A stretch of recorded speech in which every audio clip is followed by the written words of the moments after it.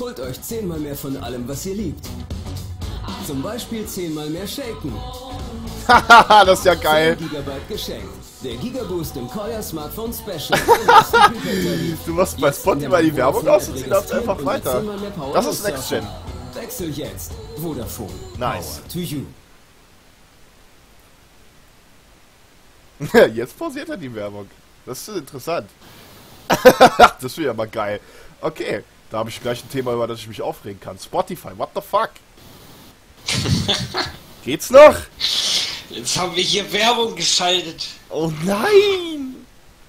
Auf unserem Channel. Ah, wir, wir, wir unterstützen die, die, die Corporate. Vodafone. Vodafone. Ich, ich habe schon wieder erstmal als Stielauge diesen Namen entziffert, aber es ist tatsächlich Quälgeist. Ich lese immer als erstes Stielauge, ich weiß nicht warum. Willkommen, Stielauge. Maximum Break. 147% Werbung. Minus 147% für ungut. Es ist mal wieder der zweite Sonntag. Es ist mal wieder Zeit für Hass. Und für jede Menge Klartext. Das bringt es eigentlich auf den Punkt. Ja, ähm, zwei Wochen sind vergangen seit dem letzten Podcast. Wer sich, wie ich beispielsweise, einfach mal ein bisschen umgeschaut hat, was so getitelt wird, was geschrieben wird, der wird feststellen, boah, es ändert sich nichts. Es ist herrlich. Noch immer bekommen scheiß Early Access Titel 80% von irgendwelchen No-Name-Zeitschriften, irgendwelche Awards, die kein Mensch haben will. Erinnert mich immer so ein bisschen an die Echo-Preisverleihung. Ähm, ich weiß nicht. Ich nehme es mittlerweile halbwegs gelassen hin. Aber deswegen heiße ich es noch lange nicht gut. Ehrlich gesagt störe ich mich sogar daran. Aber immer dran denken, was willst du machen? Ja, was will man machen? Wir warten, bis die Spiele draußen sind, bevor man ihnen Beachtung schenkt. Zum Beispiel. Bevor man sie, bevor man sie kauft, vor allem. Ja. Und bevor man sie reviewt und den, äh, also um komplett Konsequenz zu sein, muss man ein Arschloch sein tatsächlich. Also das heißt, selbst wenn man jetzt Early Access Spiel gut findet, ich habe schon sehr viel über Dead Cells äh, geredet und sehr viele Streams über Dead Cells geguckt und ne, habe schon gesagt, das Spiel ist gut, das lohnt jetzt schon das Geld und so weiter, ist eigentlich auch falsch. Man sollte tatsächlich wirklich komplett Ja, also find, find, find, find, finde ich jetzt komplett den Hype weglassen, komplett die Schnauze halten über Early Access und, und erst darüber reden, wenn die Spiele fertig sind und draußen sind, weil dann kann keiner mehr sagen, äh, was kritisierst du das Spiel, das ist äh, noch Early Access, es wird noch besser. Das ist, nein, wird es nicht. Vielleicht drei Jahre nach Release wird es besser. nach Release, Ja. das auch nochmal vier Jahre dauert, darf man auch nicht vergessen. Ja, ja. Das heißt, deine Kinder können dann anfangen, das Spiel zu spielen. Wenn es dann fertig ist.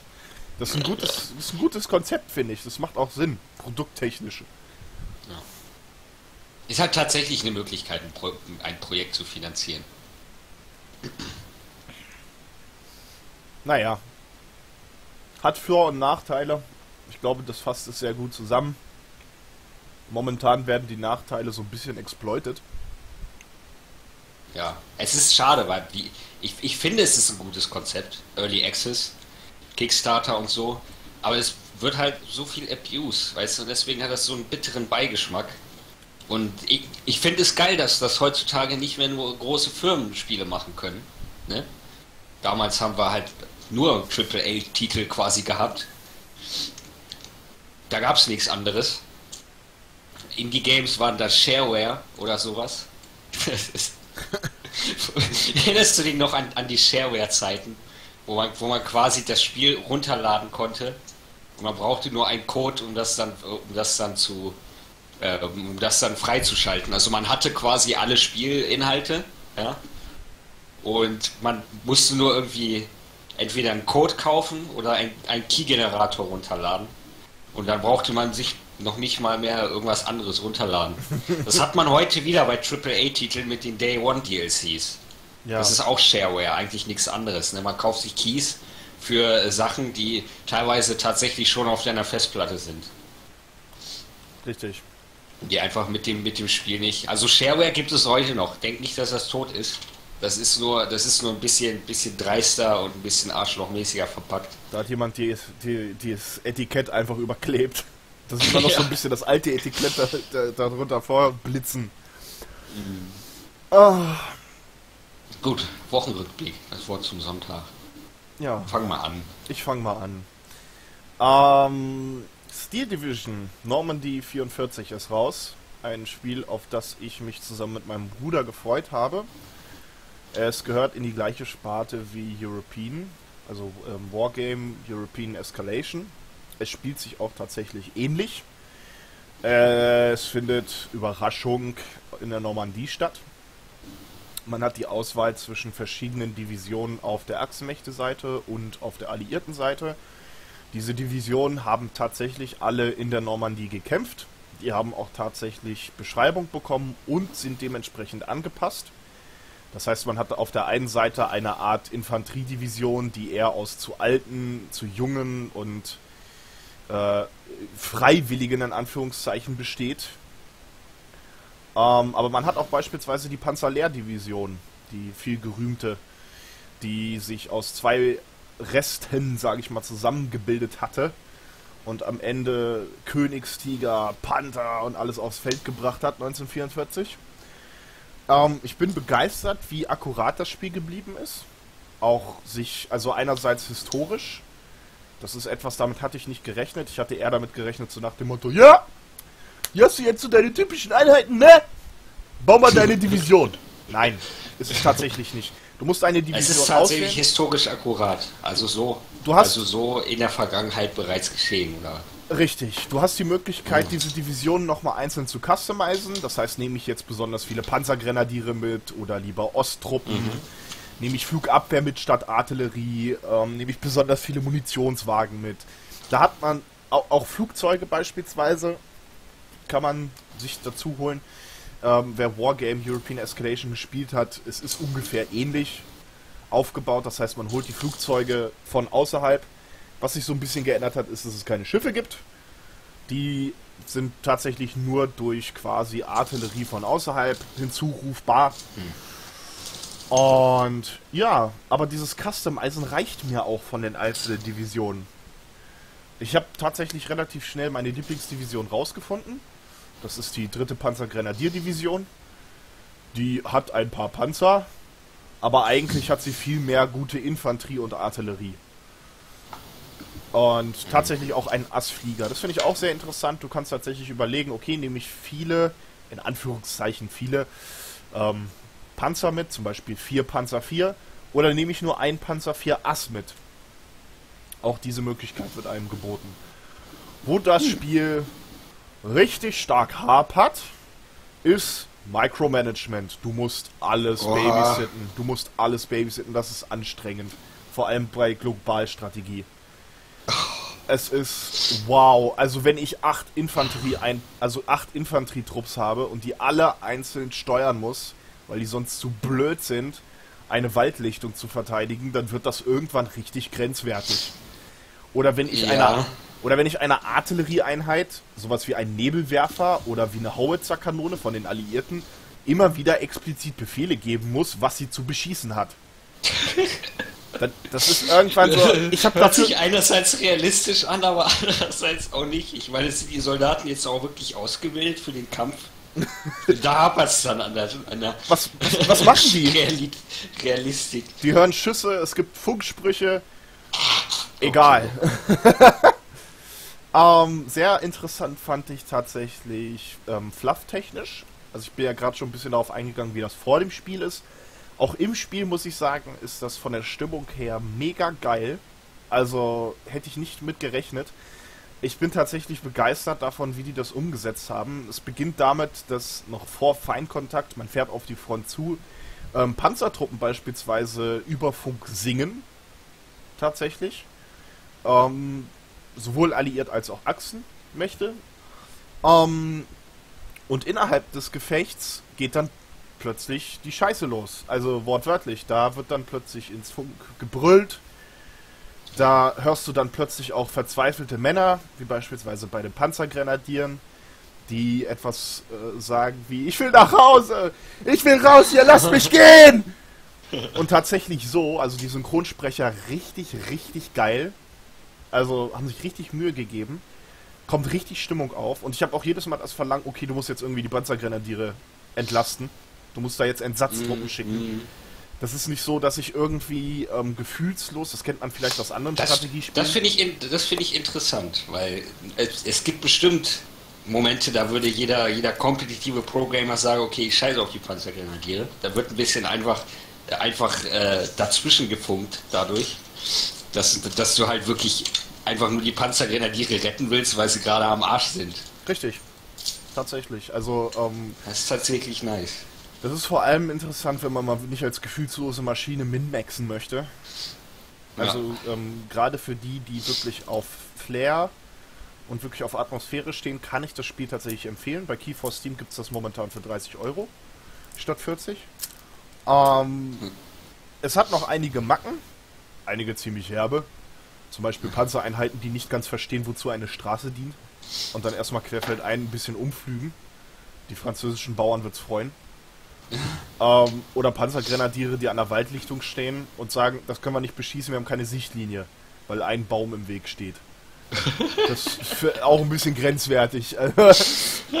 ähm, ja, ansonsten, ich werde es weiterspielen, ich werde es vielleicht auch mal streamen, zusammen mit Dokluk. Mal schauen. Ähm, ansonsten Hearts of Iron, die Kaiserreich-Mod, das große Was wäre wenn-Szenario. Ich möchte es ein bisschen abkürzen, weil Strategiegenre komme ich später nochmal drauf zu sprechen. Ja. Bringt nichts. Das, das auch im, im, letzten Podcast schon über genau das. Richtig. Aber es ist halt wirklich so gut, dass man ne, das aktuell bleibt. Ja, richtig. Und es ist, ich möchte nochmal erwähnen, Kaiserreich ist eine Mod. Und das Ding ist einfach so gut wie ein Erweiterungspack. Tatsächlich. Von daher, ähm, ja. League of Lego. Oh. Das Ranken habe ich mir mittlerweile abgewöhnt. Tatsächlich. Spielst ja. Normals oder was? Normals, ja. Im Großen und Ganzen. Wurde auch schon zu ja. Flex eingeladen, war zu langsam. ähm, was noch? Was noch, was noch, was noch? Ja, eigentlich war es das auch schon im Großen und Ganzen. Pen and Paper hast du gemacht, ganz viel. Ich sehe das auch als Gaming an. Ja, ich ähm, meistere auf der einen Seite ein eigenes Pen and Paper Szenario, aber ich bin auch Spieler. Gespielt wurde äh, gerade diese Woche Cthulhu. Einmal in den 1920ern und einmal in der Heutezeit. Hat mir sehr, sehr viel Spaß gemacht. Ist ein atmosphärisches Pen and Paper, das viel Potenzial nach oben lässt und auch viel Ausgestaltungspotenzial. Cthulhu hat die Eigenschaft, ein Pen and Paper zu sein, wo man eben kein Held ist. Das wird jetzt, wenn er denn Deutsch könnte, vor allem den How to be a Great Game Master Channel aufregen. Weil mhm. jedes Pen and Paper laut seiner Meinung darauf ausgelegt ist, dass Helden da sind. Das ist bei Cthulhu nicht so. Aber das ist auch alles andere als schlimm. Cthulhu ja, ist ein Cthulhu ist so, ist so ein bisschen das, das Roguelike unter den Pen and Papers. Richtig, ist es. A, da, da bist du nur drin, um zu überleben. A, das und B, es ist ein Horrorspiel. Wenn ich von vornherein weiß, ich bin der Held, ich gewinne, ich überlebe, dann kommt kein Horror-Feeling auf. Das Richtig. funktioniert nicht. Dementsprechend, das passt. Es macht Spaß. Wir sind auch zweimal, ne, eigentlich dreimal fast verreckt in einem Abenteuer. Und das ist schön, das so zu wissen und dann vor allem überlebt zu haben und so, wow, das war jetzt ein Abenteuer, okay, Pause. Das ist jetzt nicht so, dass man sagt, ich muss jetzt unbedingt zum nächsten Abenteuer oder zur nächsten Geschichte, mhm. sondern erstmal sacken lassen. Ja. Ja, das ist war wichtig. Gerade dann, um die Charaktere nochmal weiterzuentwickeln. Gerade da, ja. Um, ähm, das war meine Woche. Da fehlt sich dann beim, beim Spielen auch ziemlich viel. Hat, hat Mero mit, mit seinem Isaac, äh, den, eine Frage habe ich noch behalten? Weil das fand ich ein. Es, es, ist mir, es ist mir aufgefallen, dass er es öfter gesagt hat. Also, eine Frage habe ich noch. Und dann hat er irgendeine Frage gestellt, die, die absolut an, an, an die irgendwie keiner gedacht hat. Weißt du? Die auch ab, komplett ab vom, vom Thema ist. Ähm, Das, ja, das fand ich ist auch ein wichtiger, also was heißt ein wichtiger? Das, das ist mir aufgefallen als Character Quirk, was, was ihm so ein bisschen Leben auch eingehaucht hat. definitiv. Das ist, das wird er beibehalten. Nice. Ähm, lustigerweise hat er das beim Anta also bei einem Antagonisten der Geschichte auch so gebracht. Das war sehr lustig. Quasi an einem Tisch gesessen, sich Auge in Auge gegenüber. Kurze Stille. Eine Frage habe ich dann noch. Herrlich. Herrlich. Erinnert, er, erinnert mich ein bisschen an äh, hier, wie hieß er, Columbo, genau. ja, Der dann immer noch umdreht oder nochmal reinkommt. Oder so. es ist halt so ein, so ein, so ein typisches Detektiv, so, so eine Detektivmacke. Ja, aber es, es geht ja auch um Ja. Investigatoren, es geht ja um Detektive. Mhm. Äh, geht ja nicht um, wie bei DSA, um irgendwelche Ritter und irgendwelche Söldner, irgendwelche äh, Gläubigen. Auch so ein Thema, über das ich mich ewig auslassen könnte, was Pen and Paper anbelangt. Ähm, Gerade weil ich in meiner vergangenen Zeit, was Pen and Paper angeht, viele Game Master getroffen habe, die, sagen wir mal, in ihrer Welt sich sehr eingeschränkt sind und auch nicht Ja. mit sich diskutieren lassen. Das ist bei DSA besonders schlimm. Es ist, ähm, ja. um es wertfrei zu sagen, es hat für Schwierigkeiten gesorgt. Ja. Habe ich auch Erfahrung mitgemacht. Meine erste Erfahrung mit Pen and Paper war so eine. Aber davon mal ab. So. Was habe ich gemacht? Ich habe tatsächlich weniger gespielt als, als geguckt. Ich habe ähm, nochmal der, der Metal Gear Solid Reihe eine Chance gegeben Aha. tatsächlich. Ähm, dir hat die ja nie, nicht so gefallen, weil du nicht so der, der Stealth-Typ bist, ne? A, das und B, weil ich bei Animes regelmäßig mein, meine Arschbacken zusammenkneifen muss, damit ich das ist weiter dir- ertrage. Also, also ist dir tatsächlich auch die Story und, und die, Aufma auf, die auch Oh, so. Aufmachung Es ist so zu, anstrengend. zu, ex, zu extrem. es, ist, ja? es ist mir persönlich zu extrem. Ich halte es nicht aus. Als ich bei Metal Gear Solid, ich glaube 2 war das, auf dem Tanker, Mhm. wo du dem Metal Gear begegnest. Äh, oh, ich dachte mir erstmal, boah, geil, da können ja bestimmt, das müssten so fünf Leute steuern. Nee, da sitzt einer drin. Was? Wie? Hä? ja, es, es, ist, es ist tatsächlich eher, eher Anime und ein Ja. bisschen sehr. Es wird sich auch keine Mühe gemacht zu erklären und wenn es erklärt wird, ist es kompletter Schwachsinn. Also Entschuldigung, wenn ich das so klar benenne, aber ich komme Ja, ja. ich komme aus dem Battletech-Universum. Das spielt im Jahre 3000. Da hat die Menschheit das Solarsystem, äh, nicht nur Solarsystem, sondern auch die Milchstraße weitestgehend besiedelt. Ohne Aliens.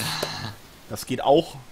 Und ähm, da wird wirklich von Anfang bis Ende erklärt, wie so ein Battle-Mac funktioniert.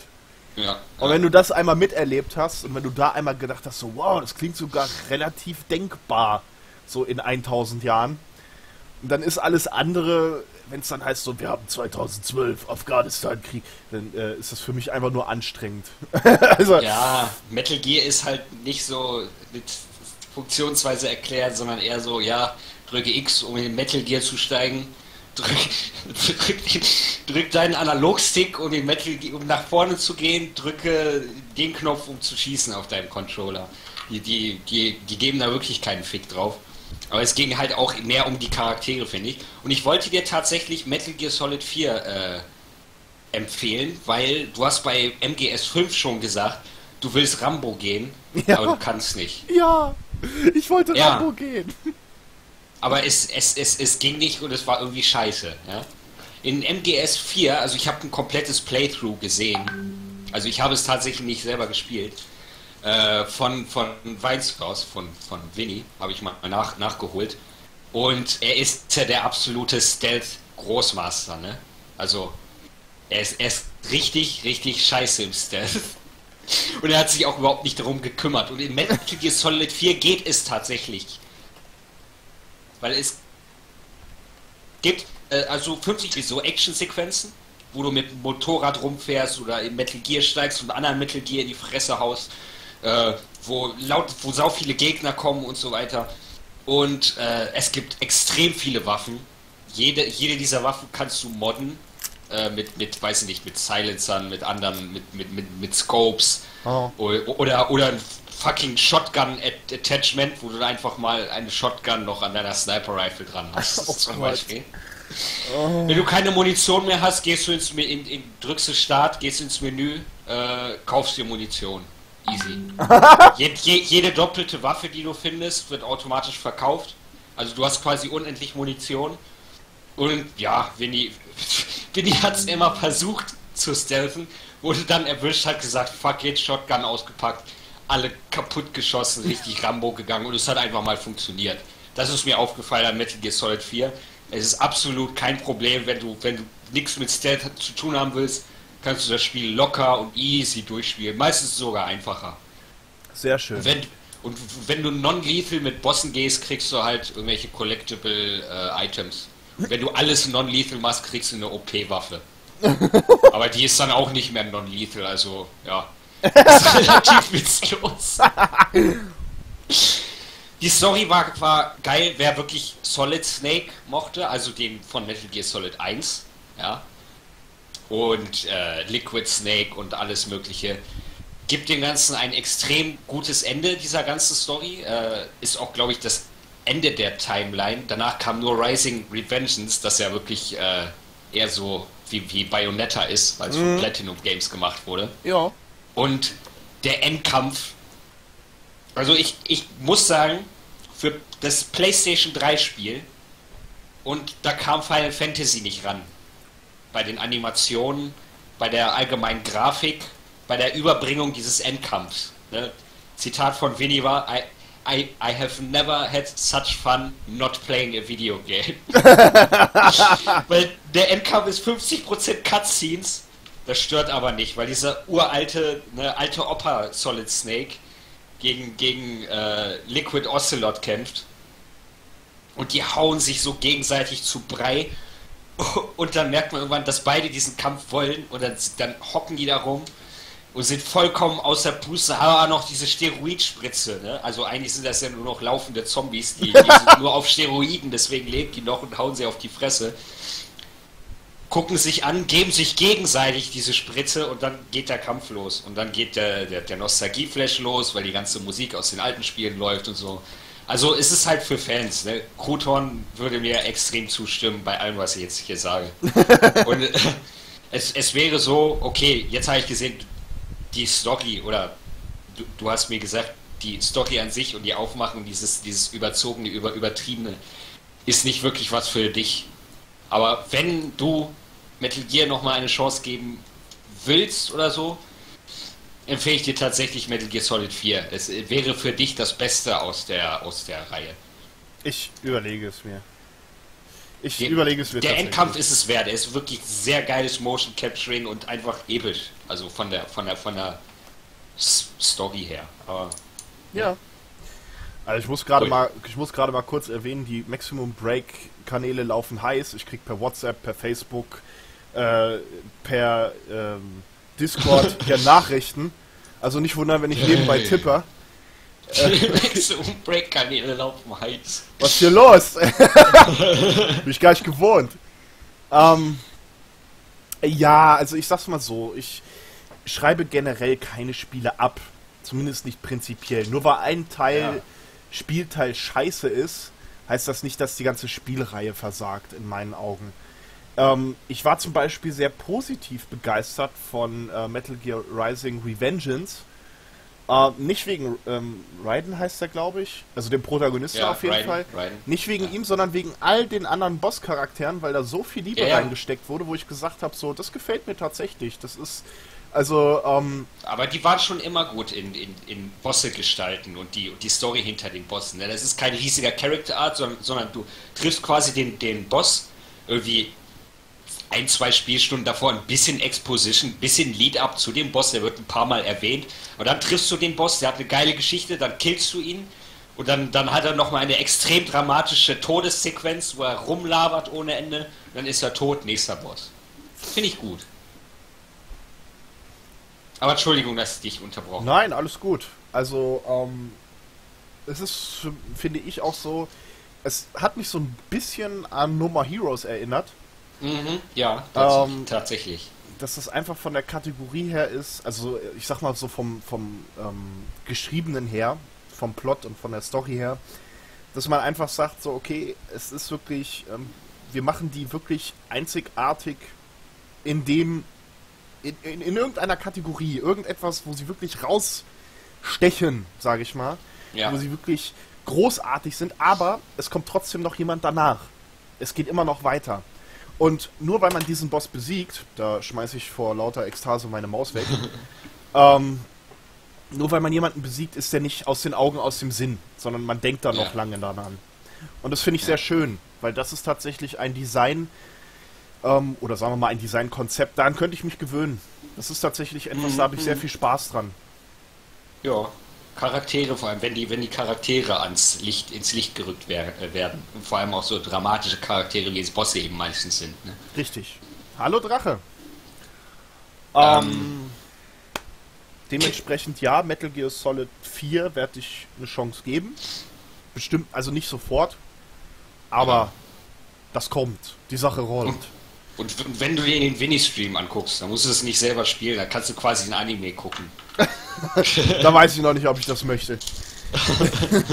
Überlege ich mir noch. Ähm, ja.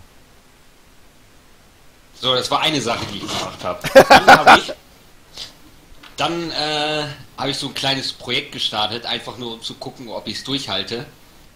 Und dieses Projekt nennt sich RuneScape. Aha. Äh, kennst du RuneScape? Sagt dir das was? Ich, ich sag einfach mal nein. Das sagt mir nichts. Was ist das?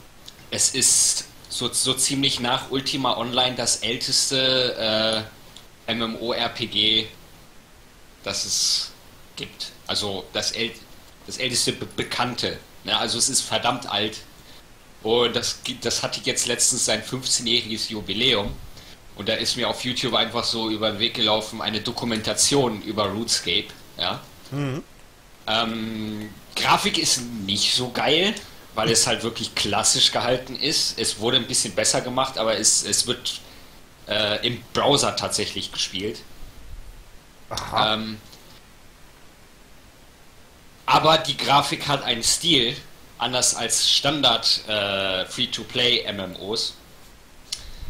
Und da wurde sehr, sehr viel Liebe reingesteckt. Quests sind, also es ist wirklich für viele äh, Leute, die damals nicht WoW gespielt haben, das Go-To-MMO. Und steht auch im Guinness-Buch der Re Re Rekorde als ähm, na, beliebtestes Free-to-Play-MMO-RPG.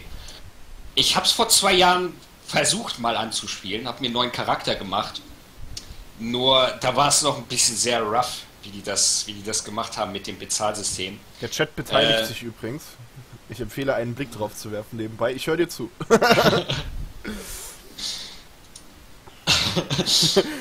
ich habe vor zehn Jahren mal gespielt. Welche Grafik? Tatsächlich jetzt ein bisschen, ne?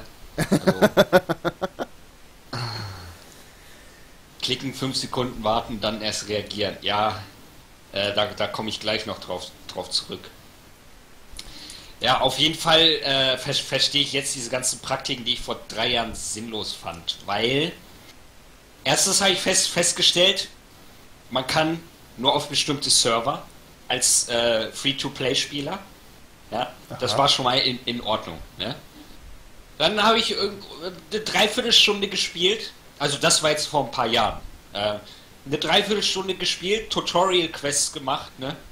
Zwischendurch gemerkt, dass man als Free-to-Play-Spieler nicht mit anderen Spielern handeln kann. Okay. Gut, okay. Ähm, äh, paar Tutorials gemacht. Dann habe ich als Quest-Belohnung von einer Tutorial-Quest ein Cape bekommen. Wollte dieses Cape anlegen. Das Spiel hat mich dieses Cape nicht anlegen gelassen. Ich brauche Premium für dieses Cape. Bei einer Tutorial-Quest. Okay, da habe ich gleich gedacht, okay, viele von, von, von Anfang an, äh, also ist, RuneScape war von Anfang an ein, äh, ein Pay-to-Play-Spiel, ne? also ein, Abo, ein Abonnement-Spiel. Erst habe ich nicht verstanden, warum es jetzt so viele Free-to-Play-MMOs gibt, die, äh, die, die sowas, die solche extremen Freemium-Praktiken äh, mach, äh, nicht machen. wie Ja, bitte. Benjamin, tu das. Ich mach das auch nebenbei. Nice. Dankeschön, Danke. übrigens. Krasse, wir, wir- sind hier auf einem Viewer-Peak mittlerweile. Ja, wir waren Also- zwischenzeitlich auf, auf sieben. Ich, ich, ich, ich, ich Hm. weiß noch nicht, ob ich das gut finde. Ja, das, setzt einen un- unter Druck, so eine hohe, so eine große Audience. Ähm, ja, äh, jetzt, jetzt habe ich aber diese Doku gesehen und die hat mir, ähm, die haben halt wirklich die Entwickler gezeigt und die ganze Geschichte, wie RuneScape entstanden ist, von damals bis heute, was in RuneScape alles passiert ist. Also ich habe mich wirklich anderthalb Stunden mit Hilfe die- dieser Doku tatsächlich mit RuneScape auseinandergesetzt und weiß, warum diese ganzen äh, Pay-to-Play-Praktiken drin sind. Denn RuneScape ist tatsächlich unter den aktiven Spielern bekannt als äh, ein MMORPG mit extrem wenig Bottern und Goldsellern. Aha. Da, da, da, da, die haben tatsächlich eine Strategie entwickelt, wie sie es geschafft haben, Bots zu besiegen und äh, die ganzen Goldseller zu, zu besiegen. Ja. Du kannst nämlich jetzt ähm, als Free-to-Play-Spieler anfangen zu spielen, Geld machen. Es gibt auch genug Content. Ich habe geguckt und äh, es, ich habe kein Cape mehr bekommen. So, diese, diese Freemium-Sachen, die man nur als Member an, anwählen kann, die kriegt man jetzt nur noch äh, äh, zufällig aus Kisten, die man, äh, also äh, aus Microtransaction-Kisten und so. Ja. Und es, es stört äh, tatsächlich nicht. Du kannst auch viele Skills nur anwenden, wenn du Member bist oder, und so weiter. Aber das ist halt, ne? Du musst dir vorstellen, du, du kommst erst Level, Level, was, Level, was auch immer, und dann schaltest du die Skills frei und bis dahin, wenn du, wenn du das dann noch spielst, gefällt dir das Spiel so, äh, dass du halt auch genauso gut äh, dir Premium holen kannst. Aber jetzt kommt der Clou. Ne?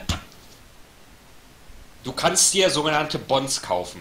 Das sind Ingame-Items, die du dir äh, für 6 Euro oder so kaufst. Ach du meine Güte. Die, die kannst du einlösen gegen äh, 14 Tage oder wenn du drei Bonds hast, äh, gegen vier, drei Monate Premium-Membership. Aha. Und diese Bonds sind handelbar im Spiel. Auch für Free-to-Play-Member. Das heißt, du musst ja einmal nur so 10 bis 15 Millionen durchs Spielen machen. Und da gibt es, äh, wenn du wirklich schnell sein willst, auch, äh, auch gute Strategien äh, auf YouTube, äh, wie man als Free-to-Play-Member schnell Geld macht, um an einen Bond zu kommen. Ne? Das heißt, du spielst lang genug, dann kaufst du irgendeinem Spieler dieses, äh, dieses Bond ab und dann bist du Premium für 14 Tage. Und in diesen 14 Tagen kannst du locker wieder genug Geld machen, weil du dann an den, an den richtigen Late-Game-Content kommst und an den ganzen Content, den du vor, vorher nicht hattest. Das heißt, du erspielst dir den Content quasi und wirst belohnt dafür, dass du spielst und du musst theoretisch kein bisschen Geld ausgeben, äh, um ein Premium-Member zu sein. Und das fand ich sehr, sehr gut, weil das ist, das schlägt so viele Fliegen mit einer Klappe, weil du kannst als dedicated RuneScape-Spieler, selbst wenn du kein Geld hast, kannst du Premium sein. Ähm, die Goldseller, ähm, die Goldseller, na, Economy, warum habe ich nicht einfach Wirtschaft gesagt? Stattdessen habe ich nach dem englischen Wort erstmal gesucht. Economy Die Class. wird, kontro die, die wird kont kontrolliert von den Machern. Ich weiß jetzt gar nicht, ich weiß jetzt. Ich weiß es Jetzt. nicht. Wie heißt die Firma? Egal, die wird von denen kontrolliert. Deswegen gibt es keine Goldseller, weil die diktieren den Preis für Ingame Gold. Du kannst es nicht billiger verkaufen, weil, ne? Minka, Du kannst es auch nicht Hallo. teurer verkaufen. Die haben die Goldseller Community komplett in der Hand. Economy. Und deswegen gibt es so wenig Bots. Das war damals mit den Ah! ganzen China-Farmern extrem in RuneScape. Ja. Ja, äh, und finde ich ganz gut. Und mein Projekt ist es jetzt tatsächlich, RuneScape äh, zu spielen und zu gucken, äh, wie lange ich brauche oder ob ich es wirklich durchhalte und ob der Free-to-Play-Content gut genug ist. Ob ich als absoluter äh, äh, MMO, ne, äh, No-Lifer, das ist das Wort, was du suchst. Nee, ich, bin, ich bin ja kein No-Lifer, ich, verli ich verliere sehr, sehr schnell die Geduld mit MMOs. Aha. Ja, und ich will mir jetzt tatsächlich vornehmen, das zu spielen, zu gucken, ob ich es durchhalte, den Premium-Content äh, zu erreichen, ohne Geld auszugeben. Also, ich sag's mal so, ich bin mal gespannt auf dein Ergebnis, weil äh, bislang teile ich die Meinung der Zuschauerschaft. Ich bin da nicht wirklich begeistert von dem ganzen System. Das klingt eher so, als würde man auf Biegen und Brechen noch den Ingame-Shop sich bewahren und unbedingt ein paar Euronen aus den Kunden rauskratzen. Und weil man festgestellt hat, dass das Abonnement-System nicht funktioniert oder nicht mehr funktioniert aufgrund der Konkurrenz, geht man jetzt halt über in, ja, brauchst du halt Premium-Band, ne? Kannst aber auch Ja. für Ingame-Geld tauschen. Wenn das halt wer anbietet. So, Ja. schade. Aber Also bis jetzt ist es wirklich, also sie, sie updaten es immer noch jede, jede, jede Woche, äh, fügen Content ein und die Quests sind mit Liebe geschrieben und alles so. Aber die Technik, ich weiß nicht. Also. äh, es, äh, manche, also den, den, den ersten Boss, das ist so ein Kraken. Ja. Man geht so eine Höhle runter, in so ein Dorf und dann, dann killt man den Kraken in einem Multi-Stage-Bossfight. Und der, der war so kon konzipiert wie ein Path of Exile-Boss. Also der mit mit du musst tatsächlich Angriffen ausweichen, indem du dich auf der Map bewegst und äh, die die Angriffe werden telegraphed und so weiter. Sieht alles ziemlich ambitious aus. Nur Das Problem, ich habe 50er Ping, ja, und trotzdem klicke ich auf ein klicke ich auf ein Feld oder auf, auf, auf, auf einen Ort, um auszuweichen und warte erstmal anderthalb Sekunden und drehe Däumchen, bis der sich oh ne? Gott. Und weil der so viel Damage macht, weil, weil er mir die Hälfte des Lebens mit diesem Angriff abgezogen hat, war ich natürlich ein bisschen äh, gestresst. Ne? Deswegen habe ich gespammt klickt, ne? Und bin dann in andere Attacks gelaufen. So, ne? in Path of Exile wäre der Boss easy gewesen. Aber nicht in Runes, RuneScape mit dem echt mit dieser echt veralteten Technik. Und jetzt muss ich, jetzt muss ich noch gucken, äh, wie die nächsten Bosse ausfallen und ne, ob ich irgendwie möglichst schnell eine gute Min-Max-Strategie äh, konzipieren kann, um vieles dieser, dieser, dieser Geschicklichkeitsmomente, äh, vieles, um viele dieser Geschicklichkeits-Challenges einfach zu umgehen, dadurch, dass ich die halt wegtanke oder One-Hitte, eins von beiden. Ja, Gameplay ist extrem veraltet, aber äh, bis jetzt bin ich noch gehuckt, einfach von dieser Größe der Spielwelt und äh, dadurch, dass es halt auch sau viel zu machen gibt.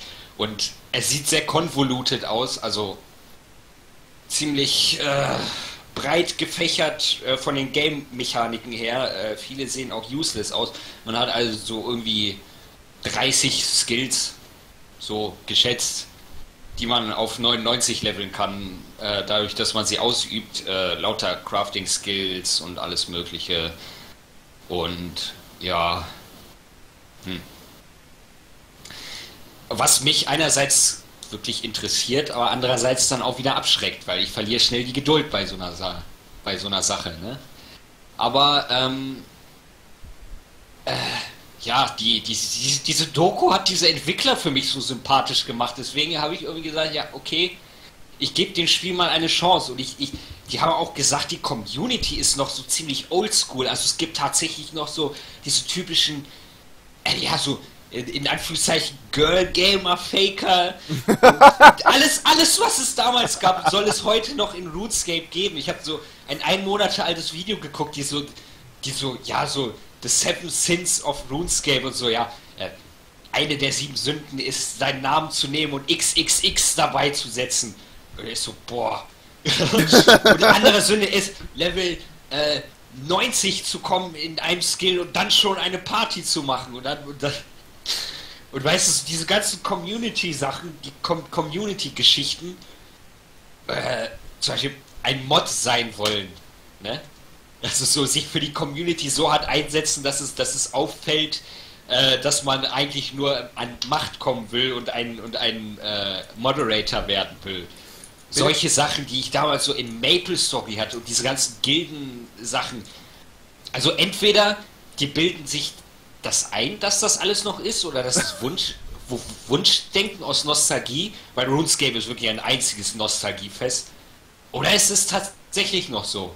Und vielleicht erreiche ich tatsächlich diesen Punkt, um das rauszufinden. Die sind alle auf LSD. Mal gucken. Ganz klar. Benjamin hat eine Frage. Wer hat denn die Doku bezahlt? Irgendjemand muss dir einen Auftrag gegeben haben. Gute Frage, ne?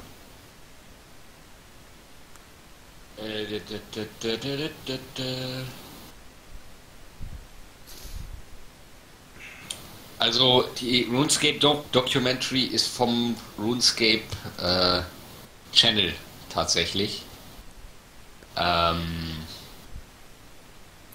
ich weiß aber nicht, ob die die selber finanziert haben und selber gemacht haben. Wäre natürlich Ja. noch interessant zu wissen. Aber gut. Sei es wie Ja. es sei. Und die, die, die haben auch viele so, also es gibt ja dieses Rune-Fest, das ist, äh, äh, ne? Das ist so, so ungefähr wie das, wie das Tankfest oder, oder mein, mein Fest. dieses mein, das Minecraft-Festival, wo sich die ganzen Fans treffen. Ach du meine die Güte. haben da lauter, lauter Cosplayer gezeigt und es sah halt so richtig hype aus, als wäre das, als wäre das Spiel heutzutage immer noch so Hochkultur, weißt du? Hm.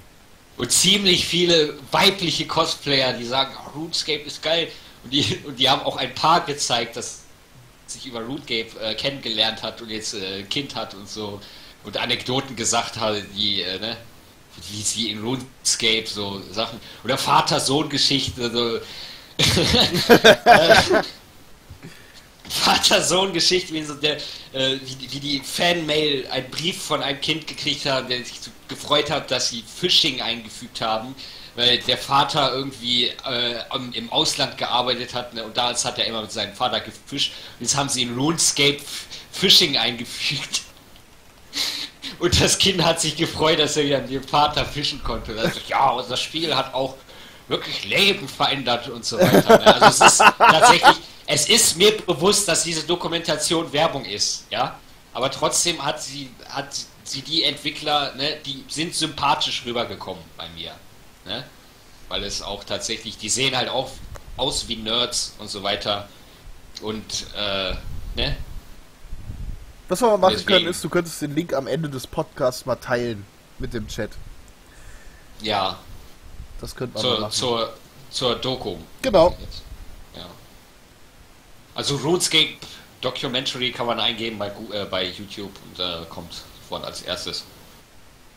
Also ist nicht schwer zu finden. Okay. Das war RuneScape. Ja, will auch also Fische ich, fangen, ich ich, ich, ich, melde mich zurück, spätestens wenn ich halt einfach aufhöre mit dem Spiel, weil ich, weil ich nicht geduldig genug bin. so. Ja, ans ansonsten League, League of Legends. Ich habe mich mit einem sehr alten Duo- Du- Duo-Q-Partner wieder zusammengetan, der jetzt einen Italiener äh, seinen Account abgekauft hat. er hat schon wieder vier Accounts verfeuert. Ich ich, ich habe ihm gesagt, ja, du musst dir halt einmal vorstellen, ne, äh, dass er immer diese Hand, diese italienische Handgeste macht bei allem, bei allem, was er sagt. Dann denken die, du bist, dann denken die, du, du, hast einmal italienisches Temperament und reporten dich nicht sofort dafür, dass du deinen Jung- Jungler mal wieder äh, kritisierst. Ne? Kritisieren nennt er das. Ja, er, er fragt immer den, den Jungler mehrmals nach Hilfe, ja. Und dann kriegt er die Hilfe nicht. Und dann fängt er sehr, sehr schnell an, ihn useless Trash zu nennen. aber aber er, er, er kriegt dann zurück, dass er sein, seinen Kopf in Eiswasser stecken und sich selber im Eiswasser ertrinken soll. Ja? und klar eskaliert das dann immer ganz schnell. Ja, ich habe ihm sogar, ne, äh, ich habe ihn dann wieder getroffen und ich wollte unbedingt mal wieder mit ihm spielen, weil er ist, er ist ein sehr guter Spieler. Er, er geht immer gefeedet raus, er geht immer irgendwie 15-3 und er versucht immer zu gewinnen. Das Problem ist, er tiltet immer alle anderen. er tiltet immer alle anderen. Ich wollte wieder mit, mit, mit ihm spielen vor ein paar Monaten. Äh, hab ihm dann tatsächlich meinen Smurf-Account gegeben, den, den Gidon 145-Account. Ja. Ja. Anderthalb Wochen hat er gehalten, dann war der gepermaband. Äh, dann hat er versucht, neue Accounts hochzuziehen. Ne? Auch bei Normal Games ist er natürlich, äh, er will wirklich nur Ranked Games spielen. Es geht nur darum, wieder, äh, wieder Diamond zu kommen, weil er war tatsächlich mal Diamond-Spieler, ja. Aha. Jetzt hängt er bei mir auf Silber rum. ja, und jetzt, jetzt, jetzt hat er einen Account gekauft mit seinem Main Wukong.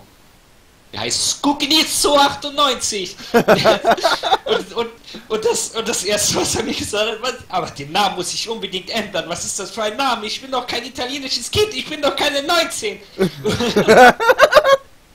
Hab ich gesagt, doch bist du. Also ich habe ich hab Spaß damit, weil die, die Chats, die da ablaufen, ne? Alter Schwede. Wahrscheinlich wirklich Geschichten Ja, für das Götterpantheon. wirklich- Das sind, das sind wirklich Geschichten. Also, das ist so eine On-Off-Beziehung, äh, die seit Jahren schon läuft mit ihm. Das ist wirklich der einzige Flamer, den ich respektiere.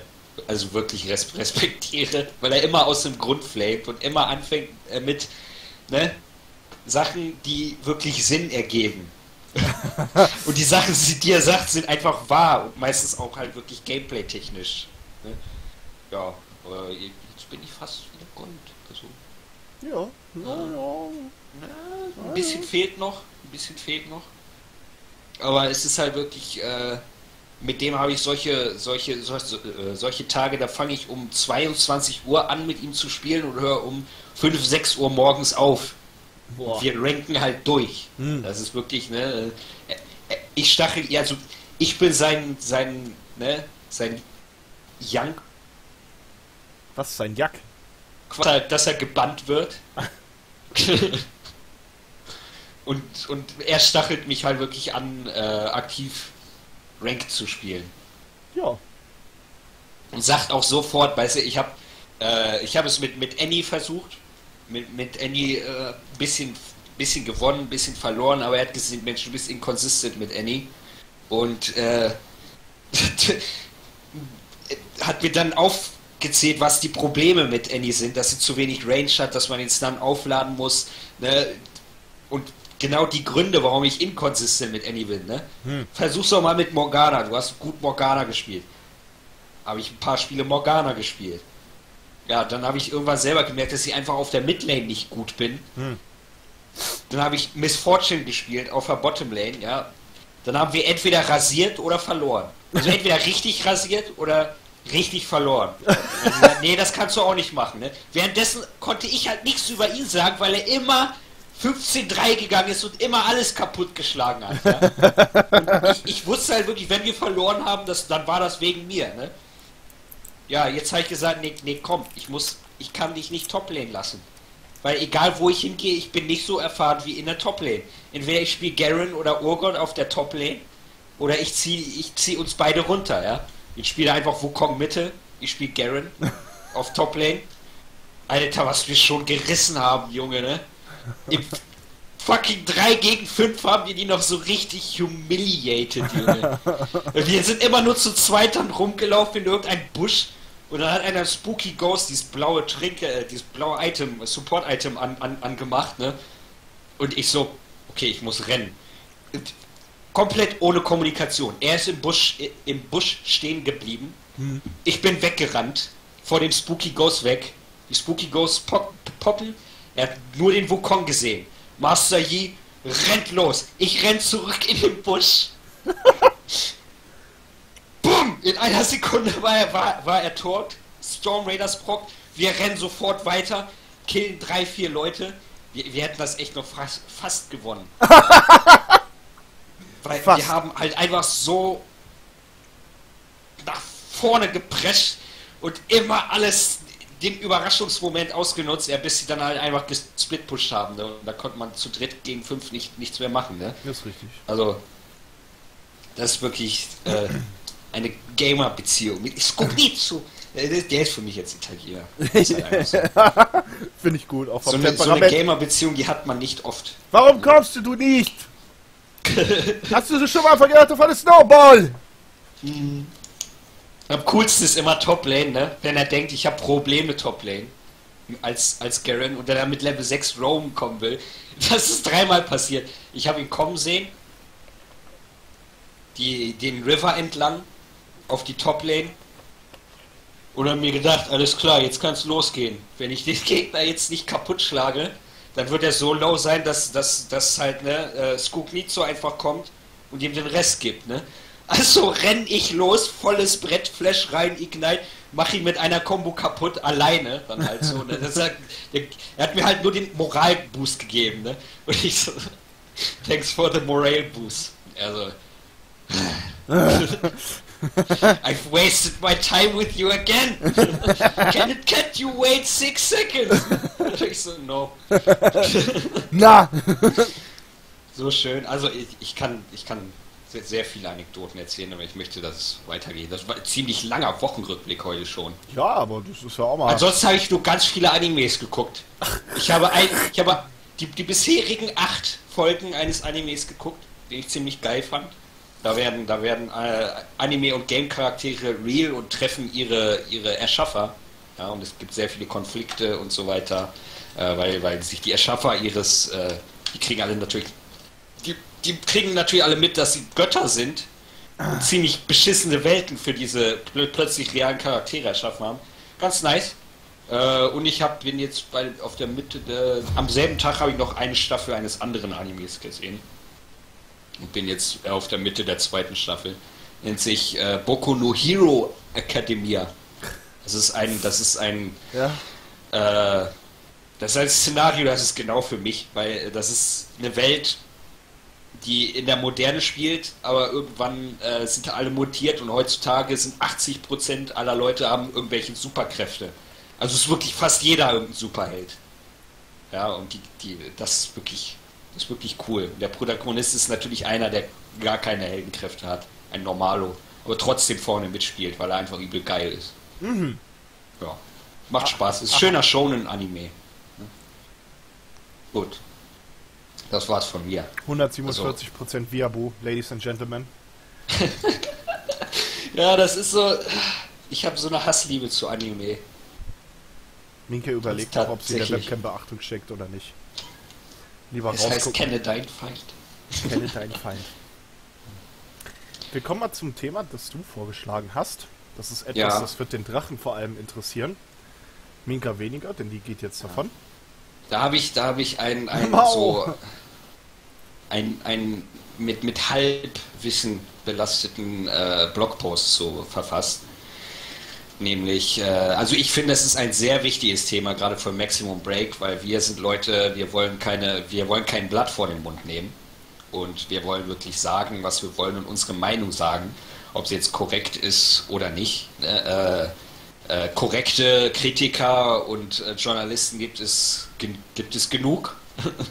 ich möchte mich einfach nicht irgendwie anpassen, irgend, irgend, irgendwelchen Leuten. Wenn ich eine Meinung habe, ne, will ich sie einfach sagen. Und das, das ist ja auch unser, auch beibehalten. Das ist ja, ja, auch unser Alleinstellungsmerkmal hier. Darum geht es ja, ja. auch. Und das ist ja. ja. auch etwas, was ich wirklich den Chat anrate, wenn da wirklich, und das ist ja auch das, was ihr lebt, das ist ja unsere Chat-Kultur momentan, dass wenn äh, man eine Meinung hat, erst einmal die Meinung äh, in den Äther blasen, ja. Mm, Aber mm. anstatt dass es um Essen geht oder um irgendwelche Aldi-Besuche, geht es hier halt um Gaming. Etwas, was wir wirklich zelebrieren wollen. Etwas, wo wir wirklich viel Zeit reinstecken und wo wir auch hohe Erwartungen haben. Und wir haben, oder ich kann ja nicht für alle sprechen, ich kann für mich sprechen. Ähm, ich sag mal von meiner Seite, Seite aus, von meiner Sparte aus, das, was ich beobachtet habe, ist, dass das Niveau immer weiter zurückgegangen ist. Wir sind auf einem Allzeittief. So empfinde mhm. ich es tatsächlich. Es gibt ab und zu ein paar einzelne Perlen, aber im Großen und Ganzen gibt es weder eine Konstanz oder eine Konstante in der Qualität noch irgendwelche ähm, Wiedererkennungsmerkmale, wo man sagen würde, oh ja, das ist, das habe ich in einem anderen Spiel gesehen, das ist eigentlich ganz gut. Das letzte mhm. wirklich, äh, wirkliche Spiel, was mich begeistert hat, wo ich auch wirklich mehr Positives als Negatives habe, ist Witcher 3. Und das finde ich ein bisschen arm. Ja. Elix hat, äh, hat jetzt bei PC Games, bei dem Mag Magazin, die Titelstory bekommen. Und äh, also ich, ich vertraue Piranha Bytes immer noch. Das ist so, also man muss, Leute, man kann nicht immer nur skeptisch sein. Es muss ne, vielleicht werde ich enttäuscht, aber dann habe ich halt ne, die Erfahrung gemacht. Aber ich möchte immer noch irgendwelchen Studios immer noch äh, einfach vertrauen können, sodass ich mich auf ein Spiel wenigstens freuen kann. Ja. Jetzt mal der, der Hype äh, außen vor. Äh, wird im August, haben, haben sie jetzt gesagt. Die haben es ein, eingegrenzt auf August okay. rauskommen. Elex. Das ist das nächste große Spiel, was ich persönlich, dem, dem, dem ich äh, sehr viel Beachtung schenken werde mhm. und äh, ziemlich durchtesten, durchspielen, durchstreamen werde. Ja. Weil es, es klingt nach wirklich erwachsener und äh, in Anführungszeichen realistischer äh, Science Fantasy. Mhm. Ist auch ein, wieder ein Untergenre, was erfunden wurde, um äh, Werbung zu machen. ja, Piranha Bytes kann auch nicht enttäuschen, weil die immer ihre, ihre Bugs und Glitches und die Probleme bei den Spielen gleich mitzeigen. Die, die zeigen dir halt immer genau, was du bekommst. Mit den Preview-Videos und so weiter. Äh, jetzt durfte letztens ein Reporter fünf Stunden lang spielen, äh, komplett ohne, ohne Guidelines. Der hat nur ein paar Safe Games bekommen, aber der, der durfte fünf Stunden lang im Spiel tatsächlich machen, was er will und er hat keine Richtlinie dafür gekriegt, wie er sein Preview zu verfassen hat. Äh, dass ich das erwähne, klingt schon traurig, ne? Ja. Aber zurück zum, zurück zum Thema. Das war jetzt eine kleine Bresche durchgeschlagen. Ähm, Sir Fogg ist äh, ein YouTuber. okay. Der Videos über World of Tanks gemacht hat. Und immer noch macht. Der hat immer die ganzen Premium-Panzer kritisiert äh, und ne, war halt und ist ziemlich beliebt unter hauptsächlich in der World of Tanks Community. Ne? Wer nicht World of, äh, of Tanks spielt oder sich dafür interessiert, kennt Sir Fogg wahrscheinlich nicht. Ähm und das hat folgendermaßen funktioniert. Wir hören dir Wargaming EU hat Sir Fogg damals gesehen und gesagt, Mensch, äh, wir machen dich zum Contributor. Ist das in Ordnung? Also Con Contributor heißt, äh, wir verlinken dich auf unserer Seite als YouTube-Channel. Mehr ist das auch wirklich nicht. Also die sponsern den nicht. Äh, er kriegt kein Geld für den, äh, von denen. Er ist nur ein quasi halt semi-offizieller Repräsentant auf YouTube. Fogg hat von vornherein gesagt, ich werde den Stil meiner Videos nicht ändern. Ihr habt gesehen, also ihr, ihr müsst ja meine Videos gesehen haben, dass ich sehr viele Schimpfworte benutze, äh, ziemlich kein Blatt vom Mund nehme und nichts aus meinem Video zensiere und meine Meinung sage, ne? Bevor ihr mich zum Contributor macht. Ja? Hat Wargaming gesagt, okay, machen wir dich zum Contributor, wir akzeptieren das. So, das heißt, die wussten, worauf sie sich einlassen. Oder auch nicht. So. oder, oder, oder auch nicht. Jetzt letztens, ähm, ich verlinke es, ich verlinke einfach mal meinen Blog nochmal, sodass man sich das so nebenbei angucken kann. Äh, ich bin nicht ganz zufrieden mit dem Blogpost. Äh, der war ein bisschen, ein bisschen hastig formuliert und ich habe auch gemerkt, Journalismus ist echt schwer, sich äh, sich korrekt die, die, die ganze Information zu sammeln und dann auch nirgendwo falsch zu liegen, ist extrem schwer. Also entschuldige ich mich. Ich, äh, deswegen habe ich auch sehr viel einfach auf die Quellen verwiesen und die Quellen gleich angezeigt, äh, die, da, die da kamen. Er hat ein Video verfasst über, über den Chrysler KGF. Das Wargaming EU nicht so wirklich gefallen hat. Und ähm, ja, dann haben sie Sir Fogg gesagt, ja, wir revoken jetzt deinen dein, dein Status als Contributor. Ne? Ähm, du bist nicht mehr bei uns, du wirst nicht mehr verlinkt bei uns. Das ist okay. Warum haben sie das gemacht? Haben sie auch gesagt. Nicht, weil er den, den, den, den Chrysler KGF, äh, es geht übrigens auch über, überhaupt gar nicht darum, ob der Tank OP oder scheiße oder gut ist. Das ist nicht das Thema. Es ging darum, die, die haben den jetzt revoked, weil er, weil er sehr oft gesagt hat, fuck you Wargaming. Ja. Also die, der, er hat auch wirklich äh, Wargaming beleidigt. Ja? Er hat gesagt, fuck you und so weiter. Und er hat auch Profanity benutzt. Deswegen haben die den äh, Contributor, haben die den vom Contributor-Programm entfernt. Was noch vollkommen in Ordnung ist. Ist vollkommen im Recht von Wargaming. Jo. Ich möchte jetzt nicht unbedingt äh, jemanden haben, der mich durchweg beleidigt, ne, und den verlinke ich auf meiner Seite. Hey, hier, hier gibt es Leute, der macht, der, der redet unsere Tanks schlecht und, äh, und beleidigt uns dabei. Hier, klickt auf den Link, äh, guckt euch den YouTube-Channel an. Würde ich natürlich nicht machen. Ne? So, dann sind die aber noch ein Stück weiter gegangen und haben gesagt, please remove this video. Ansonsten machen wir einen Copyright Strike auf das Video und verhindern, dass du deine, dass du deine World of Tanks Videos monetarisierst. Das heißt, sie haben die quasi an, angedroht, aus, weil er ein paar Mal Fuck you Wargaming gesagt hat, haben die ihm angedroht, ihm quasi seine komplette äh, Existenz auf YouTube kaputt zu machen. Was sie überhaupt gar nicht können. Weil ne, äh, ein Copyright Strike auf YouTube verläuft folgendermaßen. Äh, das Video wird entfernt von YouTube. Erstmal. Von Anfang an. Man muss nur den Copyright Strike machen. Man, man muss als äh, Inhaber von World of Tanks nur sagen, okay, der Content gehört mir. Ich will das Video nicht auf, äh, auf YouTube haben. Dann wird das Video sofort automatisch entfernt. Der Video, der Macher des Videos hat dann kann dann appealen, also kann dann sagen, nee, nee, nee, nee, so läuft das nicht. Ich will das Video wieder haben.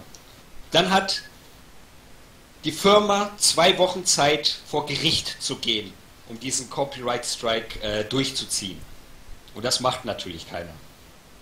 So, wenn die jetzt verhindern wollen, dass alle Videos monetarisiert werden, müssen die einen Copyright Strike auf jedes einzelne dieser ganzen Videos von Sir Fogg machen und alles Copyright claimen, damit er kein Geld mehr mit äh, World of Tanks Videos macht. Und das ist wirklich, äh, das ist wirklich nur ein Arschloch-Move. Das wollte nun wirklich keiner. Und, und wenn die das gemacht hätten, weil Sir Fogg ein paar Mal Fuck you gesagt hat, also das, das, das wäre ein, ein, ein öffentlicher Super-GAU für Wargaming gewesen. Deswegen ist das natürlich im äh, Sand verlaufen. Was sie wirklich, wo die wirklich gefuckt ab haben, war ge gefuckt haben. ich korrigiere mich mit einer äh, mit einem ebenso unkorrekten Term. Egal. ist halt, dass sie, dass, dass sie halt wirklich Shit auf dieses Kack-Video gegeben haben, Mann. Es ist ein anderthalb Minuten Video, wo er, wo er ein Panzer schlecht redet. Die hätten sagen können, okay, wir haben jetzt genug von dir, wir, wir, wir können dich nicht mehr hier Contributor, äh, ne, mach doch was du willst aber wir, wir können dich nicht mehr, äh, wir können uns nicht mehr mit dir identifizieren. Fertig. So, das wäre die erwachsene Response gegeben, ne? Aber den auf YouTube so versuchen zu zensieren und leere Drohungen zu machen, ja. Äh, und die halt anzudrohen, das zu zensieren, das ist, das wird normalerweise nur von ganz kleinen äh, äh, Studios und Indie-Gamern, äh, Indie-Programmierern gemacht, die irgendwelche Assets aus dem Internet piraten und auf Steam Greenlight gehen, um zu hoffen, dass sie ihr Spiel für einen Euro verkaufen wollen. Und wenn dann so jemand ankommt wie Jim Sterling und sagt äh, und zeigt, wie, wie, wie scheiße das Spiel ist, wollten, haben die Jim Sterling zum Beispiel verklagt, einer über 10 Millionen Dollar, ja, äh, für Defamation und so weiter. Ne? Also die wollen, die wollten wirklich äh, ihn wegen Verleumdung anklagen, äh, den Sir Fogg. Ne? Also die haben dann eine ziemlich große Sache draus gemacht. Ne? Und da haben sie natürlich so die ganzen Kritiker, äh, die haben einen riesigen Shitstorm äh, verursachen. Nee, nee, nee. Die ähm, der Copyright Cease and Desist, äh, DMCA Strike, ist nochmal ein bisschen härter als äh, nicht mehr dafür bezahlt werden. Das ist wirklich ein Entfernen des Videos und äh, dann kriegt äh, der ganze Channel eine Strafe. Und wenn er dreimal solche Copyright Strikes äh, kriegt, bei zweimal, das ist mir mal passiert, äh, äh, kriegt er eine Sperre. Bei, äh, da dürfen seine Videos tatsächlich nur noch 10 Minuten lang sein. Und beim dritten Mal äh, wird, wird der Channel komplett runtergenommen. Das ist ja auch ganz mhm. interessant für alle, damit ihr ähm, mal so ein bisschen hinter die Kulissen schaut, wie funktioniert YouTube eigentlich? Ja. Wie funktioniert Präsentation? Wie funktioniert. Ab, aber wann ist es ein. Es ist ein Produkt eines anderen, das ist richtig, aber ich ähm, erstelle ein kreatives Review wo es äh, kreativ ist, wo es Satire ist, wo es Schmähkritik ist. Darüber kann man sich ewig streiten, ganz besonders in Deutschland. Ja, ja. In den United States ist das alles ein bisschen einfacher gehalten. Das hängt damit ja. zusammen, dass die ähm, Wir reden hier über Wargaming EU. Also es geht um europäische Gesetze. Ne? Hm. Das ist alles in Europa passiert. Sehr gut. Weil ne? da muss ich ganz ehrlich sagen, da kommen die mit sowas nicht durch. Zumindest ja, nee, sind sie auch nicht. es sind sofort alle, alle auf den Zug gesprungen. Jim, Jim Sterling äh, saß vorne. Der hat einfach Erfahrung damit gehabt. Er muss sich ständig mit solchen Leuten umschlagen. er sagt, steckt, er sagt, fuck Konami. Äh, der, also er ist wirklich, ne? Frei Schnauze. Der setzt sich Ja, hin und er, ist, er ist richtig, richtig freischnauze und er hat sich halt auch wirklich angelegt mit den Leuten. Er wurde um 10 Millionen Dollar verklagt von so einem kleinen Arschloch und hat auch Videos drüber gemacht. Ne? Äh, Also es funktioniert einfach nicht. Du kannst als Firma solche Videos nicht zensieren, egal was du machst. Du kannst es einfach nicht machen. Und die haben es halt trotzdem gewagt als größere Firma, also aus weiß ich nicht, ganz einfach, weil sie dumm waren. Und dann gab es natürlich sofort den öffentlichen Shitstorm und plötzlich mussten, hatten die mit Leuten zu tun gehabt, mit denen sie überhaupt nichts zu tun haben wollten. Ne? Leute, die, die, die deren Spiel weder spielen noch kennen, noch sich dafür interessieren. Ne? Die werden nie irgendwelches Geld bezahlen für irgendwelche Premium-Tanks. Ja. Und die stehen plötzlich mit Fackeln und Mistgabeln vor deren Tür und sagen, ey, ihr habt da echt Scheiße gebaut, ne? Ja. Und da können die machen, was sie wollen. Die können sagen, ey, äh, die, der Panzer ist gar nicht OP, ne? Also man braucht, man muss sich äh, Microtransaction Premium äh, Munition kaufen, um diesen Panzer überhaupt zu beschädigen. So, also, ne? Das ist eine, ich ich habe mich nicht wirklich darüber informiert, ob das wirklich so echt ist. Ne? Auf jeden Fall weiß ich aber jetzt, dass es Premium-Ammo gibt und so weiter. Da kann der Äh, Drache jede Menge zu erzählen. ja, ja, da äh, freue ich mich, dass er da ist. Ne? Ähm, kann, der, du kannst ja mal zwei, drei Zeilen zum, zum Chrysler KGF. Äh, Gerade für Benjamin und auskennst. die ja hier mitlesen. Ähm, Ja, ja. Aber das, das interessiert, wie gesagt, gar nicht. Das interessiert, die haben sich so viele schlechte Publicity damit eingezogen. Und, ähm, ja, äh, äh, Jim Sterling hat halt auch äh, dann ein Ultimatum angedroht. Äh, der hat gesagt, er macht eine Jimquisition drüber. Das ist sein Montagsformat, äh, wo der ein, wo der ein Thema auseinander nimmt und wirklich äh, ne, seine, Ex seine Meinung auch preisgibt. Und äh, damit hat er auch sehr viel, sag ich mal, Souveränität, weil er eben sehr viel Erfahrung gemacht hat, auch vor Gericht und alles Mögliche. Ne?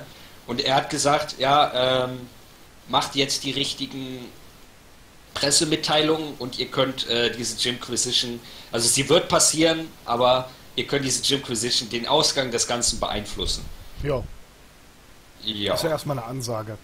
Ähm, Mhm. Wo ich, ich musste die ganze Zeit daran denken, wie würde ich vorgehen, wenn ich ein Gaming-Studio leiten würde. Wenn ich tatsächlich einen 10-Mann-Betrieb führen würde, wenn ich Geschäftsführer wäre und plötzlich kommt beispielsweise äh, äh, Drache oder Quälgeist oder Benjamin oder vielleicht auch du an und sagen, ey, wir haben ja einen, äh, der beleidigt uns in einem anderthalbminütigen Video und ähm, ist ein Contributor von uns.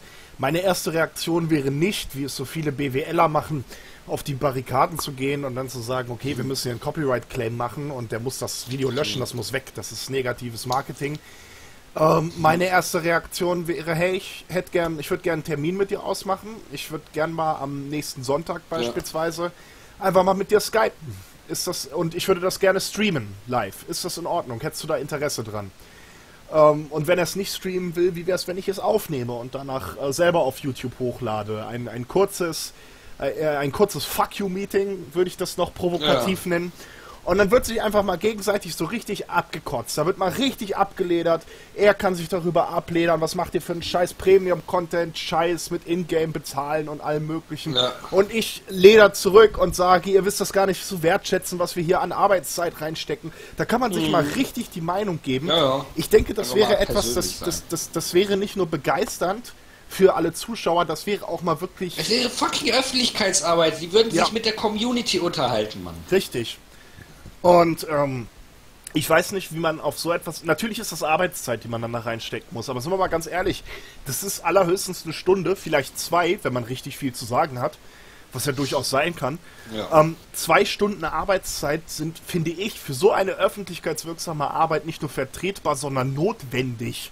Das ist ein. Das ist eine Anforderung, damit man überhaupt erfolgreich wird in diesen Zeiten. Oder ich, zumindest ich sehe darin professionelles Vorgehen und die Möglichkeit, sich von anderen abzuheben, indem man eben nicht sagt, okay, wir gehen direkt auf Copyright, sondern hier, guck mal, Wargaming EU, die machen dann, die, die haben irgendwie so jede Woche einfach mal tatsächlich, äh, wird einfach mal abgeledert zusammen mit einzelnen äh, YouTube-Content, beziehungsweise ähm, YouTube-Content-Creatern. Und vielleicht gibt es da auch mal ein Meeting, wo man sagt, okay, da ist jetzt einer mit bei, der ist tatsächlich begeistert. Der hat gesagt, okay, Premium Panzer finde ich nicht so cool, aber der Rest vom Gameplay gefällt mir total. Finde ich total in Ordnung. So, und plötzlich hast du einen richtig positiven Podcast. Auch das ist möglich. Und diese ganze Spur, worauf ich hinaus möchte, ist, das haben sie sich nicht nur verwehrt, denn wenn sie das jetzt im Nachhinein noch machen würden, wenn es ihnen jetzt noch in die, oder wenn sie jetzt den Podcast hier hören und sagen, hey, das ist eigentlich gar keine schlechte Idee, Wunder gibt es immer wieder, selbst dann würde es nichts mehr bringen. Weil selbst dann würde man sagen, okay, das ist wirklich nur noch um äh, Kanten zu glätten, nichts anderes. Die haben so, wie ich finde, unprofessionell reagiert. Ich, ähm, Ja, das es, war wirklich eine unprofessionelle Reaktion. Also, äh, so es gibt, egal was für ein Produkt ich verkaufe, es wird immer jemanden geben, der nicht zufrieden ist. Das ist einfach ja. so. Und dann zu sagen, ähm, der darf seine Meinung nicht äußern oder aber ähm, der schadet uns damit, das ist Schwachsinn. Es wird immer negative Reviews auf Steam beispielsweise geben. Äh, es können 20.000 sagen, was weiß ich, Undertale ist super und es gibt 500, die sagen, es ist scheiße und begründen das.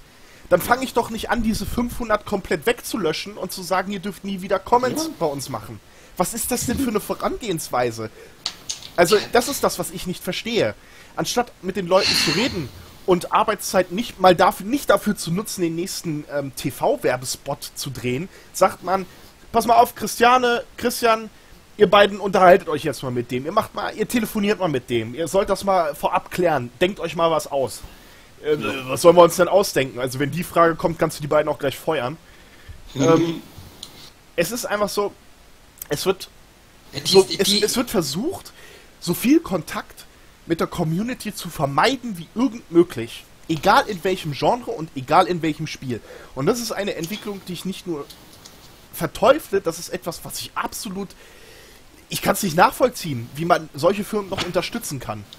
In jeglicher Art und Weise. Selbst, ich meine, wer kann sich noch daran erinnern, dass Nintendo beispielsweise gesagt hat, wir müssen jetzt einzelne YouTuber shutdown, weil die Content zeigen, das uns nicht gefällt. Das schlägt in genau dieselbe Sparte. In meines die sind ja nicht.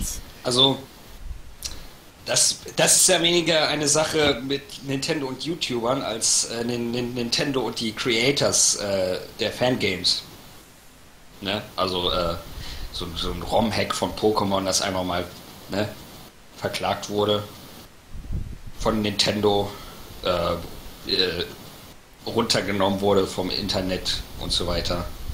Weil, ne, also es ist halt Fan, Fan-created Content. Äh, das Metroid 2 Remake, AM2R heißt das, äh, das haben die versucht komplett aus dem Internet runterzunehmen, weil, ne, hm. die wollen ja vielleicht irgendwann nochmal ein Metroid machen in 10, 12 Jahren. Entschuldigung. Und die, ne, die sehen, die, die sehen Fan-Creator tatsächlich als Konkurrenz und als Gefahr. Was sich wirklich, ne, äh, also. Drache hat es mir gerade nochmal bestätigt. Als, als Ameisen mit, mit, mit einer Lupe verbrennen. sowas, sowas machen die. Ähm, Drache hat es gerade nochmal bestätigt, das ist etwas Community-Arbeit mit Community-Unterhalten, ist etwas, was Wargaming nicht macht. Und ja, Quegas, ich habe gelesen, was das ist. Es ist meine persönliche Meinung, das sollte ich voranstellen, dass dieses ja. Konzept, dieses, ich habe einen Content kreiert und jetzt möchte ich dafür bezahlt werden, wenn da anderer Content drum entsteht. Ich halte das gerade in der Gaming-Industrie für überholt.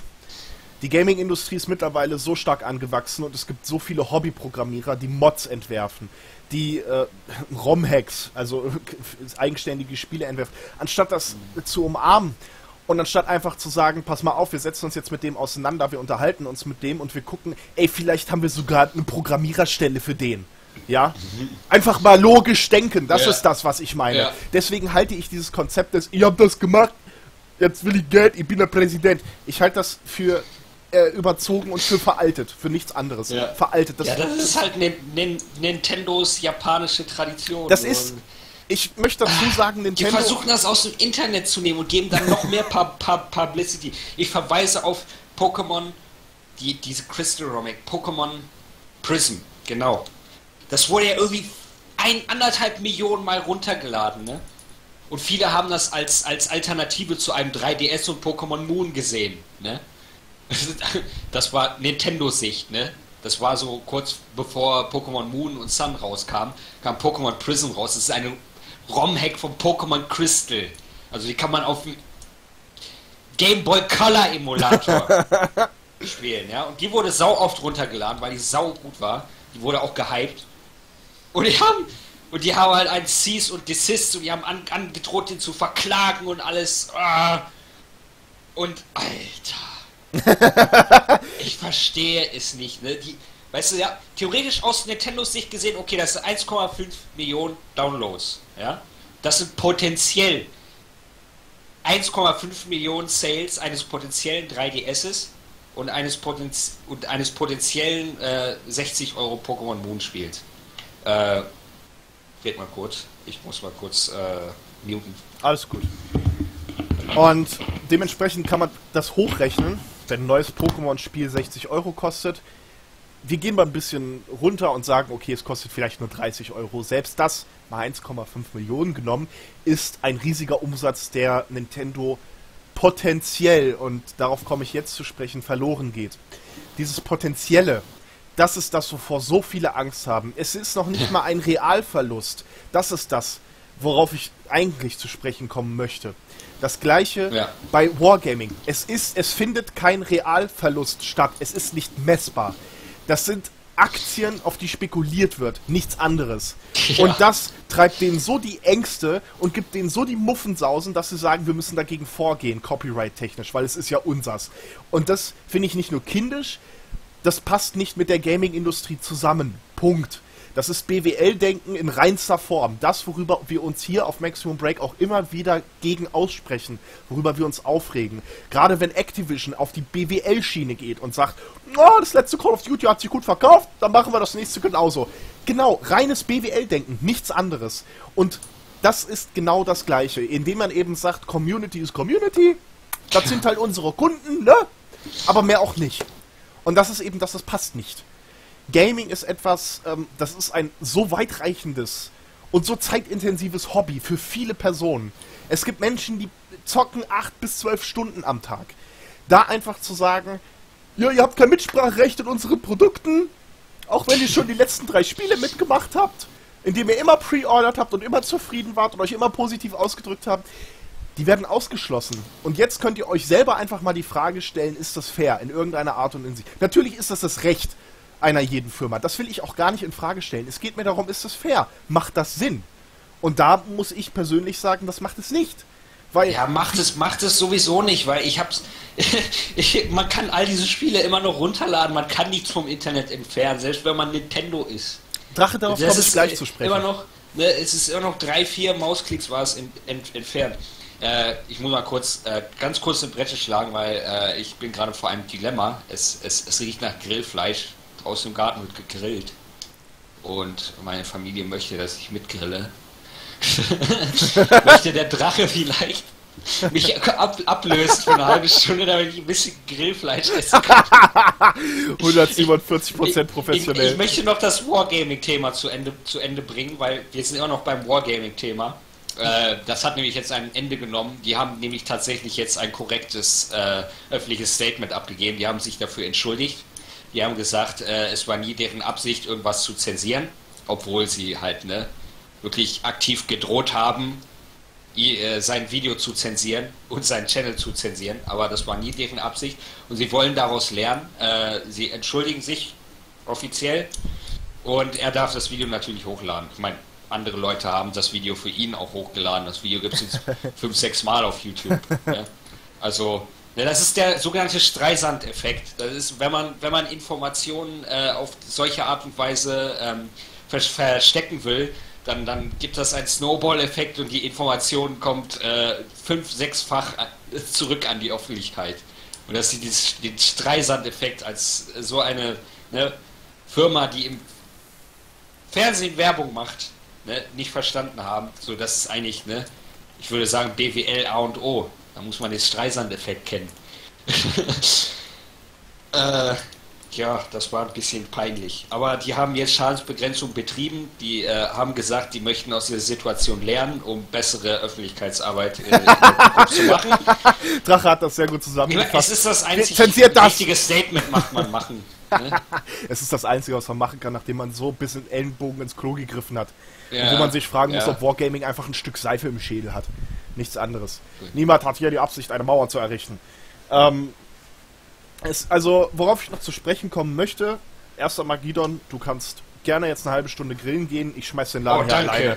Danke. Ich, ich, ich, ich mach das zusammen mit der Ich Viewerschaft mach- im Chat. Nehmt dran teil. 145% Gaming raus. 2% Grill. 2% Okay. Grill. Bis später. Ich unterhalte mich mit euch im Chat. Auch weiterhin. Wir bleiben an der Sache dran.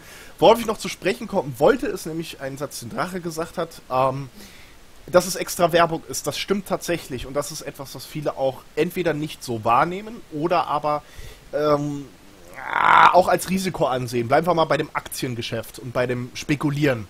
Man weiß nicht wirklich, okay, sind das jetzt wirklich 1,5 Millionen Kunden, wovon ja auch einige doppelt sind, sagen wir mal so rund eine Million. Sagen wir mal rund eine Million Kunden, äh, ob die wirklich dann das neue Pokémon holen oder nicht. Wobei ich da reinschlagen muss und sagen muss, selbst wenn das nur 80 sind, die das danach kaufen, ist das doch immer noch ein Gewinn. Ihr habt nichts bezahlt für diesen ROM-Hack, der dann released wurde und wo dann eine Million Menschen, bla.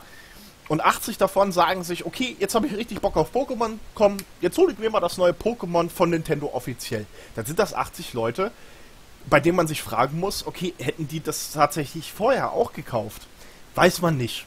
Auf jeden Fall kann man sagen, okay, es, diesen Effekt gibt es. Der ist wiederum messbar. Und da muss man sich natürlich fragen, warum wird dem so entgegengearbeitet? Weil etwas anderes ist es ja nicht. Und Wargaming schlägt in genau dieselbe Sparte. Anstatt zu sagen, wir haben hier einen besonders kritischen Menschen, der auch nicht davor zurückschreckt, mal Tacheles zu reden, auch mit uns. Und das ist etwas, das wir sehr wertschätzen, denn es zeigt uns, wo unsere Schwächen sind und woran wir arbeiten können. Wird eben gesagt, wir zensieren das. Und das zeigt eigentlich in seiner Gänze ziemlich eindeutig, wohin sich das alles bewegt. Publisher und Entwicklermäßig. Komme ich gleich nochmal drauf zu sprechen. Ähm, weil das ist ein Thema, das Quälgeist gerne nochmal angeschnitten haben wollte beim letzten Mal, weil ähm, Gidon da ein bisschen Verwirrung reingebracht hat. Um bei Wargaming zu bleiben, und jetzt komme ich ein bisschen auf euch zu, ähm, hattet ihr Erfahrungen mit Wargaming, die überwiegend negativ waren? Gerade wenn es um Community-Arbeit ging, wurden Bugs reported, wo es hieß, nein, das ist ein Feature. Ähm, gab es Einkäufe, die nicht korrekt abgehandelt wurden, wo man sagen muss, hm, macht das Sinn? Ähm, gibt es andere Geschichten, vielleicht im Forum, die breit getreten wurden, wo man gesagt hat, so, das ist aber ganz schön komisch, wie das da ähm, stattgefunden hat. Ähm, ich weiß von unseren Viewern, dass Drache und Dokluk ähm, wirklich aktive Wargamer waren. Das trifft es eigentlich am ehesten. Und ähm, ich will auch kein zeitgenössisches Statement dazu. Wie ist das momentan? Ähm, weil ich glaube, dafür haben wir auch zu wenig Interesse. Es ist interessant zu wissen, was für Wellen das geschlagen hat. Und ich finde es auch wichtig, dass das angesprochen wird.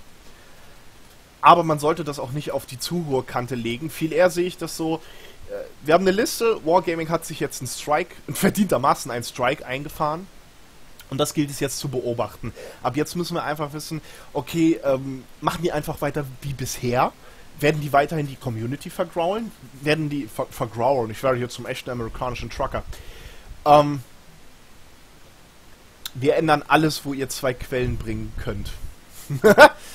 zwei Quellen, interessant. Zwei Screenshots. Ähm, es ist einfach mal wichtig, sich zu vergegenwärtigen, was momentan stattfindet auf großer Ebene. Wie gesagt, Community-Arbeit findet meines Erachtens so nicht mehr statt. Das gibt es nicht mehr. Stattdessen wird beschwichtigt, es wird zensiert, es wird gedroht, was ich für eine Charakterschwäche halte. Wenn ich jemanden drohen muss, dann geht es entweder um Leib und Leben oder aber ich bin gierig. Diese zwei, also auch hier persönliche Ansicht, ja. Kann ich niemand anderen aufbrummen. Das ist etwas, so schätze ich das ein. Und gerade in der Gaming-Industrie, die ja nun wirklich viel Geld abwirft, denken wir an Neupreistitel, 70, 60 Euro, je nach Plattform, geht es halt um viel Geld, keine Frage. Aber ähm, viele Verluste, viele Refunds, die eingefahren werden und die ja auch stattfinden, gerade Steam-Refunds beispielsweise, die sind ja nun auch selbst verschuldet. Und das ist eben das Entscheidende. Anstatt eben zu sagen, wir betreiben Community-Arbeit und wir versuchen so ein bisschen zu beschwichtigen, wir bringen zum Beispiel ein Total War Rome 2 raus, was absolut ähm, verbuggt ist und absolut nicht unserer Werbung entspricht, Ähm, anstatt dann zu sagen, okay, wir kommen auf euch zu und wir sagen jetzt, okay, wir müssen jetzt einfach mal sammeln. Wir sammeln, sammeln, sammeln, sammeln. Was habt ihr alles für Bug-Reports? Was habt ihr alles für Verbesserungsvorschläge? Wird gesagt, wir verbessern das. Was ist das für eine Aussage? Natürlich verbessert ihr das. Ihr werdet ein ziemlich lausiger Haufen, wenn ihr das nicht tut. Das ist eine Selbstverständlichkeit. Was nicht selbstverständlich ist, und das ist eigentlich das Traurige, ist, dass man sagt, wir hören auf euer Feedback, auf der einen Seite und auf der anderen Seite, wir gehen einen Diskurs mit euch ein. Das ist eigentlich das Entscheidende. Anstatt einfach nur zu sagen, wir hören auf euch, das ist so nichtssagend. Das ist genauso richtig wie sinnfrei, meines Erachtens. Zu sagen, wir hören auf euch, ist in, etwa, ist in etwa sozusagen wie, ich muss dreimal am Tag aufs Klo. Jeder weiß das, aber was bei rauskommt, weiß, ich, weiß niemand, wenn ich nicht darüber rede. Und ähnlich ist das äh, momentan bei Patches, egal welches Genre. MOBA, Strategie, Action, RPG, Ego-Shooter. Das schlägt alles in dieselbe Sparte momentan. Es wird nicht, es wird irgendwelche Balance-Tweaks finden da statt. Es wird da irgendwas rumgeschraubt. Ähm, man, bestes Beispiel League of Legends, Rito. Die orientieren sich momentan gerade ähm, an der äh, LCS. League Champion, irgendwas. Habe ich schon wieder vergessen. Ist auch egal. LCS im Endeffekt das ESL von League of Legends. Und da, da, wird sich nur an der LCS orientiert, obwohl die LCS als solches mit ihren Pro-Gamern einen verschwindend geringen Bruchteil der Spielerbasis darstellen. Und das ist eben etwas, wo man sich, sich fragen muss, warum? Weil man sagt, okay, ja, Rito Games sagt von sich aus, okay, wir machen jetzt hier LCS, beziehungsweise die Pro-Gaming-Szene, das ist unser großes Aushängeschild. Ja, an diesem Aushängeschild, da machen wir fest, was haben wir, wo wollen wir hin und so weiter und so fort. Hier, so sollt ihr alle mal werden. Ja, so im Optimalfall. Jeder, der Ranked spielt, soll mal so werden wie Pro-Gamer. Ja, spielt Ranked Games, dann könnt ihr Pro-Gamer werden und an Turnieren teilnehmen. Dass das alles völliger Kokolores ist, das spricht niemand mehr an. Und anstatt da eben zu sagen, weißt du was, schieben wir das mal zur Seite, ist schön, dass ihr das fordert und ist schön, dass ihr das haben wollt, mit, dass alle Pro-Gamer sein sollen, das ist eine schöne Utopie, behaltet die für euch. Viel lieber möchte ich, dass man sich auf den Großteil der Community orientiert und anhand dessen Balance-Tweaks macht. Noch besser, aber das wäre, glaube ich, die Königsdisziplin, wäre es, wenn man wirklich alle beachtet. Sowohl die Pro-Gaming League als auch die in Anführungszeichen Casual Gamer. Und wenn man das unter einen Hut bringen kann. Dass das sehr schwer sein kann, das ist mir auch klar. Und das ist jedem klar, der mit ein bisschen Verstand an die Sache rangeht. Weil dann haben wir eine richtig unübersichtliche Community, wie im Fall von League of Legends. Und dann alle irgendwie zufriedenzustellen, hatte ich gerade schon angeschnitten, ist wie mit den Steam-Reviews. Das wirst du nicht hinkriegen. Egal wie viel Mühe du dir gibst, wie sehr du es machen möchtest, das wirst du nicht schaffen. Das ist leider so. Und das ist das kann ich auch nicht weiter beschönigen, das ist so Punkt. ähm, aber anstatt da wenigstens zu sagen, okay, wir werden jetzt vielleicht nicht ähm, die 147% knacken, aber immerhin zu sagen, okay, wir wollen wenigstens an die 100% rankommen, wir wollen uns verbessern und wir wollen stetig eine kontinuierliche Verbesserung reinbringen. Das wäre zumindest ein Schritt, der mir zeigen würde, okay, es gibt noch Entwicklerstudios und äh, Publisher-Studios, äh, die wirklich Wert darauf legen, wer die Spiele spielt und die sich auch im Klaren darüber sind, dass die Leute, die das spielen, äh, vielleicht das auch weiterempfehlen. Das ist was ganz Lapidares, dass die einfach zu ihren Freunden gehen. Ja, ich habe letztens so ein Metal Gear Solid 4 geguckt, gespielt, wie auch immer. Und muss sagen, ist besser irgendwie als die anderen, weil du da auch Rambo gehen kannst. Ja, wenn ich an den Wochenrückblick jetzt nochmal zurückführen darf. Ähm, ein Riesenthema, etwas, was ich hier auch weitestgehend äh, ruhen lasse. Ich gehe jetzt nochmal auf den Chat ein. Ähm, diese Quellen sind nicht aussagekräftig, wir ändern, nicht an, wir ändern nichts an unseren Fahrzeugen. Ähm, und Kritiken im Forum werden einfach gelöscht. Okay. Ähm, wenn das tatsächlich so stattfindet, und davon gehe ich momentan aus, weil gerade in der heutigen Zeit, gerade in heutigen Gaming-Zeit, in der vernetzten Zeit, Hashtag Neuland, ähm, gibt es ja genug Leute und genug Gamer, äh, die wirklich nachweisen, okay, ich habe jetzt hier eine Stunde mich äh, mal rangesetzt an das ganze Tank-Equipment und das ganze Repertoire, was Wargaming anbieten kann. Und ich habe einfach mal Vergleiche angestellt und habe festgestellt, äh, da gibt es Inkonsistenzen, das passt so nicht. Das ist balance-technisch fragwürdig auf der einen Seite und auf der anderen Seite ist es möglicherweise sogar einfach nur irritierend, wenn man spielt. Ähm, interessant finde ich die Vorangehensweise zu sagen, okay, wenn ihr Nachforschung betreibt und wenn ihr uns das darlegen könnt, dann ändern wir was. Und danach gar nicht richtig zu schauen, sondern einfach zu sagen, ah, die sind nicht aussagekräftig, ähm, dann sind wir wieder bei dem gleichen Thema wie vorhin. Hinhaltetaktik. Etwas anderes ist das nicht. Ja, wir machen so viel Community-Arbeit. Wir geben euch die Möglichkeit, Feedback zu geben und dann richten wir uns danach. Das macht ihr eben nicht. Und da reicht es beispielsweise, eine Bilanz anzulegen. Im vergangenen Jahr wurden so und so viele Änderungsvorschläge gemacht im Forum. So und so viele wurden weitergegeben, weitergereicht. So und so viele wurden strikt abgelehnt im ersten Level. Und so und so viele wurden angenommen ich glaube, dann ist die Bilanz sehr, sehr düster für Wargaming. Und dann hätte man wieder negatives Marketing, das man auf niemand anderen schieben kann, außer auf sich selbst mit dieser Vorangehensweise. Aber dafür müsste sich tatsächlich, ich hoffe ja darauf, dass tatsächlich einer mit Wargaming so derartig unzufrieden ist, dass er das macht. Und dass er einfach mal sagt, hier seit einem Jahr versprecht ihr uns und ihr macht nur Scheiße. Ja? Ob das dann gelöscht wird oder nicht, ist erstmal egal, weil ich hoffe, dass dann genug dieses, das einfach copy-pasten und einfach jeden Tag diesen Forum-Post machen, bis Wargaming 90% der Belegschaft gebannt hat, permanent. Und sie dann feststellen, ja, wir arbeiten mit unserer Community. Aha, deswegen habt ihr 90% der Playerbase in euren Foren gebannt. Ab da ist schon Tilt. Ab da kannst du die so in die Ecke drängen, äh, da würden sie sich nie wieder von erholen. Wenn du das dann noch an die virale große Glocke hängst, ist das ein Todesurteil. Nichts anderes. Aber ich für meinen Teil kann sagen, ich habe da überhaupt kein Interesse dran, weil Wargaming mich schlichtweg nicht interessiert. Aber World of Tanks ist ein Thema, es streitet sich so ein bisschen mit Russens Thunder, gibt sich die Klinke in die Hand. Beides ist einfach nur grottenschlecht und beides werde ich bashen bis an sein Lebensende. Ähm, aber ich würde nie so weit gehen und sagen, ich mache da jetzt eine Doktorandenarbeit aus. Ich weiß auch, dass das viel Aufwand ist, aber man darf nicht bedenken, also man darf nicht vergessen, es gibt wahrscheinlich genügend Spieler, die einfach auch schon genug Zeit da investiert haben und die einfach mittlerweile sagen, das passt nicht mehr. Und das ist einfach so anstrengend geworden mit der Zeit.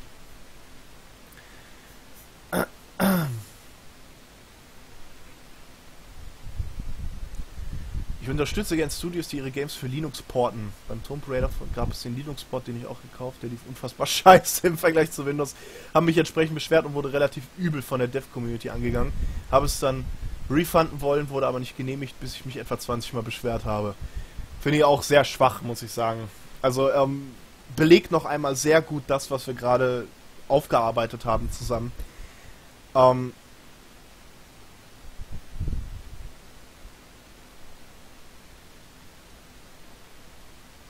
Lieber Mac Warrior, du meinst Patch Warrior, Matchmaking Warrior. ähm, ihr merkt, das ist ein Thema rund um Patches, rund um Balance Tweaks, rund um Community Arbeit. Das zieht nicht nur einen Rattenschwanz nach sich, sondern darüber kann man sich ewig diskutieren. Zu Recht. Denn auch hier möchte ich nochmal anmerken, das sind wirklich Themen, wir entwickeln uns in einen, oder nicht wir entwickeln uns. Das würde bedeuten, dass es in der Zukunft erst geschieht. Wir haben uns in eine Richtung entwickelt, in der die Community einen Scheißdreck für viele Entwickler und Publisher wert ist. Und das muss man einfach so aussprechen. Und das, ich frage mich immer noch, warum das niemand anspricht. Stattdessen wird da von der GameStar noch widersprochen. War eine Diskussion, die ich geführt hatte. Per Mail. Warum da im Endeffekt, wie, es werden noch Patches gemacht und es wird auf die Community gehört. Ja, das merke ich. Anhand von Wargaming, anhand von Rito wieder auf die Community gehört wird. Es wird behauptet, es wird auf die Community gehört. Und dass das niemand erkennt, oder sie erkennen es und ignorieren es, oder äh, viel eher ist es ja ein Beschönigen, muss ich mich fragen, äh, warum? Sind das mittlerweile alles incestuöse Gewülste, die sich da entwickelt haben? Kriegt der Journalist, der Gaming-Journalist mittlerweile direkt Geld vom Publisher und Entwicklerstudio? Und diese Fragen lohnen es sich zu stellen. Immer und immer wieder. Und das ist auch etwas, wo der Fokus hingehört. Weil solange wir keine kritischen Stimmen haben, ich meine, wir sind jetzt ein wirklich kleiner Channel hier, aber das ist ja schon mal ein Anfang, indem man sagt, hier wird wirklich mal frei Schnauze über das abgeledert, was wirklich nicht sein darf. Inwieweit das weitergetragen wird, inwieweit man das annimmt, das kann man nicht erzwingen, aber solange es angesprochen wird, können wir für uns behaupten, wir haben es versucht. Und das ist, denke ich, schon sehr, sehr viel mehr als andere tun. Ähm, ja, bessere Verkaufszahlen, bessere Umsätze. BWLer. Ich denke, damit schließe ich das Thema einmal ab. Ähm, The Search lasse ich einmal außen vor, weil das ist Gidons Thema. Der ist gerade grillen. Ich komme stattdessen zum Strategiegenre. Die Nische, die vir viral geht. Warum sage ich das? Ähm, wer sich auf im Steam Shop mehr als ein paar Mal stündlich umhertreibt, gerade im Bereich Strategie, Glo Global Strategy, der wird sehr schnell feststellen, dass das mittlerweile eine Größe angenommen hat, die zumindest alteingesessenen Strategiespielern wie mir so ein Stirnrunzeln hervorruft. Nicht, weil ich das schlecht finde, sondern weil das eine Entwicklung ist, die irgendwie merkwürdig erscheint. Strategiespiele als solche waren schon immer ein Genre. Wow, habe ich das gerade echt gesagt? Eine Nische wollte ich sagen. Um Himmels Willen. Eine Ni ein Nischengenre. Das ist etwas, das spricht nicht viele Leute an. Es ist etwas, da kann man auch ein paar ältere Gamer hinter den Öfen hervorlocken. Aber es ist etwas, äh, wo man nicht viel Potenzial sieht. Sei es beispielsweise für Umsätze, sind wir wieder beim Thema BWL, als auch beim Thema äh, Wachstum, beziehungsweise Funding wenn es ins nächste Spiel gehen soll. Welches Entwicklungspotenzial haben Strategiespiele? Dass dieses Entwicklungspotenzial da ist und dass das mittlerweile mehr und mehr Entwicklerstudios erkennen, ist begrüßenswert. Aber ich reagiere da auch sehr vorsichtig. Wir haben zum Beispiel lang und breit schon darüber diskutiert, wie Immersion und Fluff und Story und Plot sich auf die Gaming-Erfahrung auswirken. Dass das ein äh, meist unterschwelligen Effekt hat, so einen untergrabenen Effekt, sag ich mal, ähm, den man nicht unbedingt immer mitbekommt, aber in jedem Fall spürt. So, bei Strategiespielen ist das schwierig umzusetzen. Es ist, ähm, ich habe eingangs beim Wochenrückblick darüber gesprochen, wie Steel Division Normandy äh, 44 gerade durch Funksprüche ich brauche langsam mal Sabbelwasser. Ähm, Funksprüche im Endeffekt äh, panisch werden, wenn es ins Gefecht geht oder ähm, wie gesungen wird, wenn es in Richtung Front geht. Das sind alles Immersion-Themen, ähm, die man bewusst erst einmal wahrnehmen muss, aber wo man auch einen ganz anderen Bezug zu seinen Einheiten herstellt. Während man beim RPG, bei Ego-Shootern und auch bei gewissen Actionspielen eher, naja, versucht, den Fokus auf Gameplay und Charaktere zu legen, ist es bei Strategie nur Gameplay. Es bietet zwar viele Möglichkeiten für eine Story, aber das kann auch genauso gut richtig in die Hose gehen. Ein positives Beispiel wäre ähm, die Command Conquer-Reihe rund um die GDI und rund um Not, weil das war durchaus etwas, es war Science Fiction, ja, keine Frage, aber durchaus interessant mit interessanten Charakteren und auch mit interessanten Plot-Twists. Ein Negativbeispiel bei Strategiespielen wäre meines Erachtens Ruse, das versucht hat, sich daran zu halten, was in der Normandie passiert ist, was aber so wacky rüberkam, also so merkwürdig. Also man hat die ganze Zeit so ein merkwürdig, also zumindest ging es mir so, ich hatte ein merkwürdiges Gefühl einfach beim Spielen. Das hat sich nicht wirklich angefühlt wie die Landung der Normandie. Ein weiteres Negativbeispiel wäre Call of Duty, aber ich glaube, das hat eher aufgrund von Abnutzungserscheinungen der Grund. Ähm, Doku schreibt es gerade, 60% der Story waren annehmbar.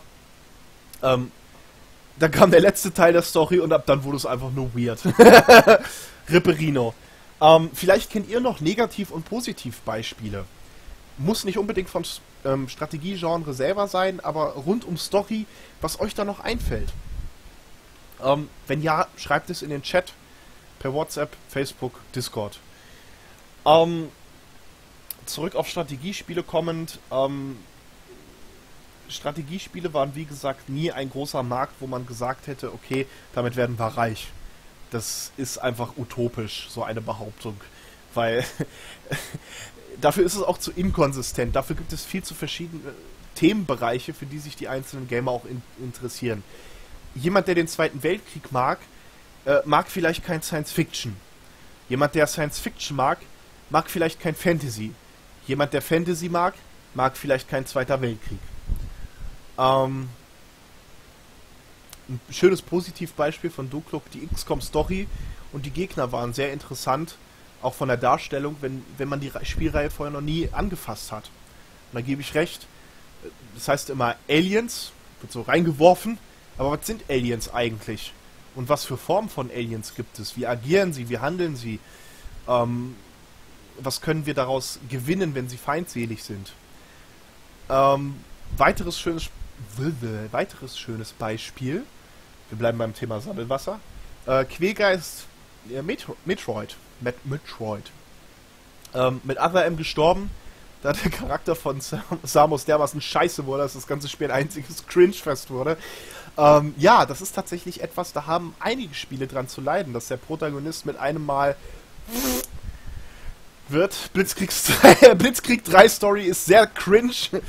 Valkyria Chronicles ähm, geht in Richtung Anime, ist ganz interessant. Ähm, finde ich zum Beispiel auch sehr interessant. Ähm, weil auch mir die Darstellung sehr gefallen hat, weil es tatsächlich eher ernst, einen, einen versucht hat, einen ernsten Ton anzubringen. Das heißt, es ging um Krieg, ja, aber das war kein ähm, Hoppe Hoppe Reiter und rumquietschen. Ähm, okay, vereinzelt, ja. ähm, aber nicht in dem Übermaße, wie man es erwartet hätte. Gerade wenn man daran denkt, dass es ein Kriegsszenario darstellen soll. Und dann Kriegsszenario und Anime, hm, sind zwei Dinge, passen nicht immer zusammen. Um nicht zu sagen, es wird sehr schnell cringe. Cringe ist übrigens ein schöner Begriff, den ich einfach mal auch so ein bisschen aufschachteln möchte, weil es jetzt halt äh, für zwei Spiele schon gefallen ist. Ähm, ab wann oder was ist für euch ein Kriterium, wo man sagen würde, okay, jetzt ist wirklich, das ist wirklich cringe, jetzt fange ich an zu cringen. Ab wann ist dieser Punkt erreicht? Ab wann ziehen sich bei mir die Arschbacken zusammen? Ab wann verengt sich mein Arsch und ich fange an, mich innerlich so zu, zu winden und zu, ich fange an zu schreien vor Schmerzen. Ab wann ist dieser Punkt erreicht? Ähm, ist das relativ, hat das eine relativ geringe Toleranzgrenze? Das heißt, ist das relativ schnell erreicht oder muss dafür schon einiges im Argen liegen, dass man irgendwann sagt, Charaktere passen nicht, Story ist komplett, äh, komplett schwachsinnig, Plot ist inkonsistent, die Beziehung der Charaktere untereinander ist komplett an den Haaren herbeigezogen. Ist dann der Punkt erreicht oder reicht es schon, wenn man sagt so, äh, ich habe hier gerade eine Stelle in der Story, das passt nicht zusammen zu dem, was ich bisher erlebt habe. Mero wirft noch ein, Valiant Hearts hatte eine gute Story bezüglich Krieg, wenn ich mich recht erinnere. Keine Ahnung, ob die der. Mir sagt er was. Ist tatsächlich etwas, was ich auf dem Giga habe. Ähm, Werde ich wahrscheinlich auch mal streamen. Für die, die dann Interesse hätten. Ähm, da peilen wir mal den Freitag für an oder den Samstag. Lass ich mal offen. Vielleicht auch nächsten Sonntag. Ähm, aber das wäre tatsächlich etwas, das könnte man präsentieren. Und das wirkt tatsächlich mal nach einer interessanten Herangehensweise. Ähnlich, ähm, ähnliches Spiel von mir noch eingeworfen, This War of Mine wow, was für eine Atmosphäre, muss ich wirklich sagen. Also wirklich mal eine ganz andere Herangehensweise. Ist aber auch mehr RPG als Strategy. Ähm, Immersion-Brüche bringen das bei Drache zum Beispiel sehr schnell. Das heißt, da wird sehr schnell gecringed. Äh, ich nehme mein Lieblingsbeispiel. ich komme irgendwie nicht drüber weg. Nein, ich beherrsche mich dieses Mal, auch Kruton zuliebe. Ähm, ich nehme nicht das Beispiel ähm, Mass Effect beispielsweise ist ein sehr schönes Thema. Ähm, hat gerade der neueste Mass Effect Andromeda Teil, ich kann leider kein konkretes Beispiel nennen, aber da hatte ich tatsächlich zwei, drei Begebenheiten, wo ich gesagt habe, da ist die Immersion komplett zu Bruch gegangen. Wir sind eine Expedition in eine fremde Galaxie, also etwas anderes als die Milchstraße, nämlich die Andromeda Galaxie. Und dort finden wir feindselige Aliens und eine alienartige Substanz, die sich wie ein Virus verbreitet. Ach ja, übrigens, warum habt ihr meine Familie noch nicht aufgetaut? Alter, hast du das gerade ernsthaft gefragt? Ja, ich will, mein, ich will meine Frau wiedersehen. Alter, wir sind hier gerade vom Überleben bedroht. Wir haben. Siehst du das da draußen? Guckst du mal bitte in den Himmel? Siehst du diese schwarze Wolke? Das Ding könnte uns auslöschen, wenn es in unsere Richtung kommt. Du fragst mich, warum ich gerade ein paar Milizionäre aufgetaut habe aus der Kryostasis statt deiner Frau? Aber egal. Ähm, bei Quälgeist, wenn es einer durchschnittlichen Teenagerin die Schamesröte in, ins Gesicht treiben würde, oh, das ist eigentlich ganz schön hoch, oder? Das ist eigentlich ganz schön schwer in der heutigen Zeit. Ich meine, da kannst du über Ficken, Blasen, äh, Muschi, Penis und alles Mögliche reden. Das ist alles noch angenehm. Ab wann wird es denn Schamesröte und Cringe? Gute Frage. Ähm, wenn man versucht, realistisch zu bleiben und dann die Charaktere etwas machen, was entweder außerhalb des historischen, aber nicht zu dem Kontextes fällt, oder man macht Aktionen, die man nur mit dem Wissen des Plot Armors hätte rechtfertigen können. Plot Armor ist ein sehr schöner Begriff, gerade für äh, Immersion. Ähm, Plot Armor ist etwas, das empfinde ich persönlich auch als sehr, sehr negativ.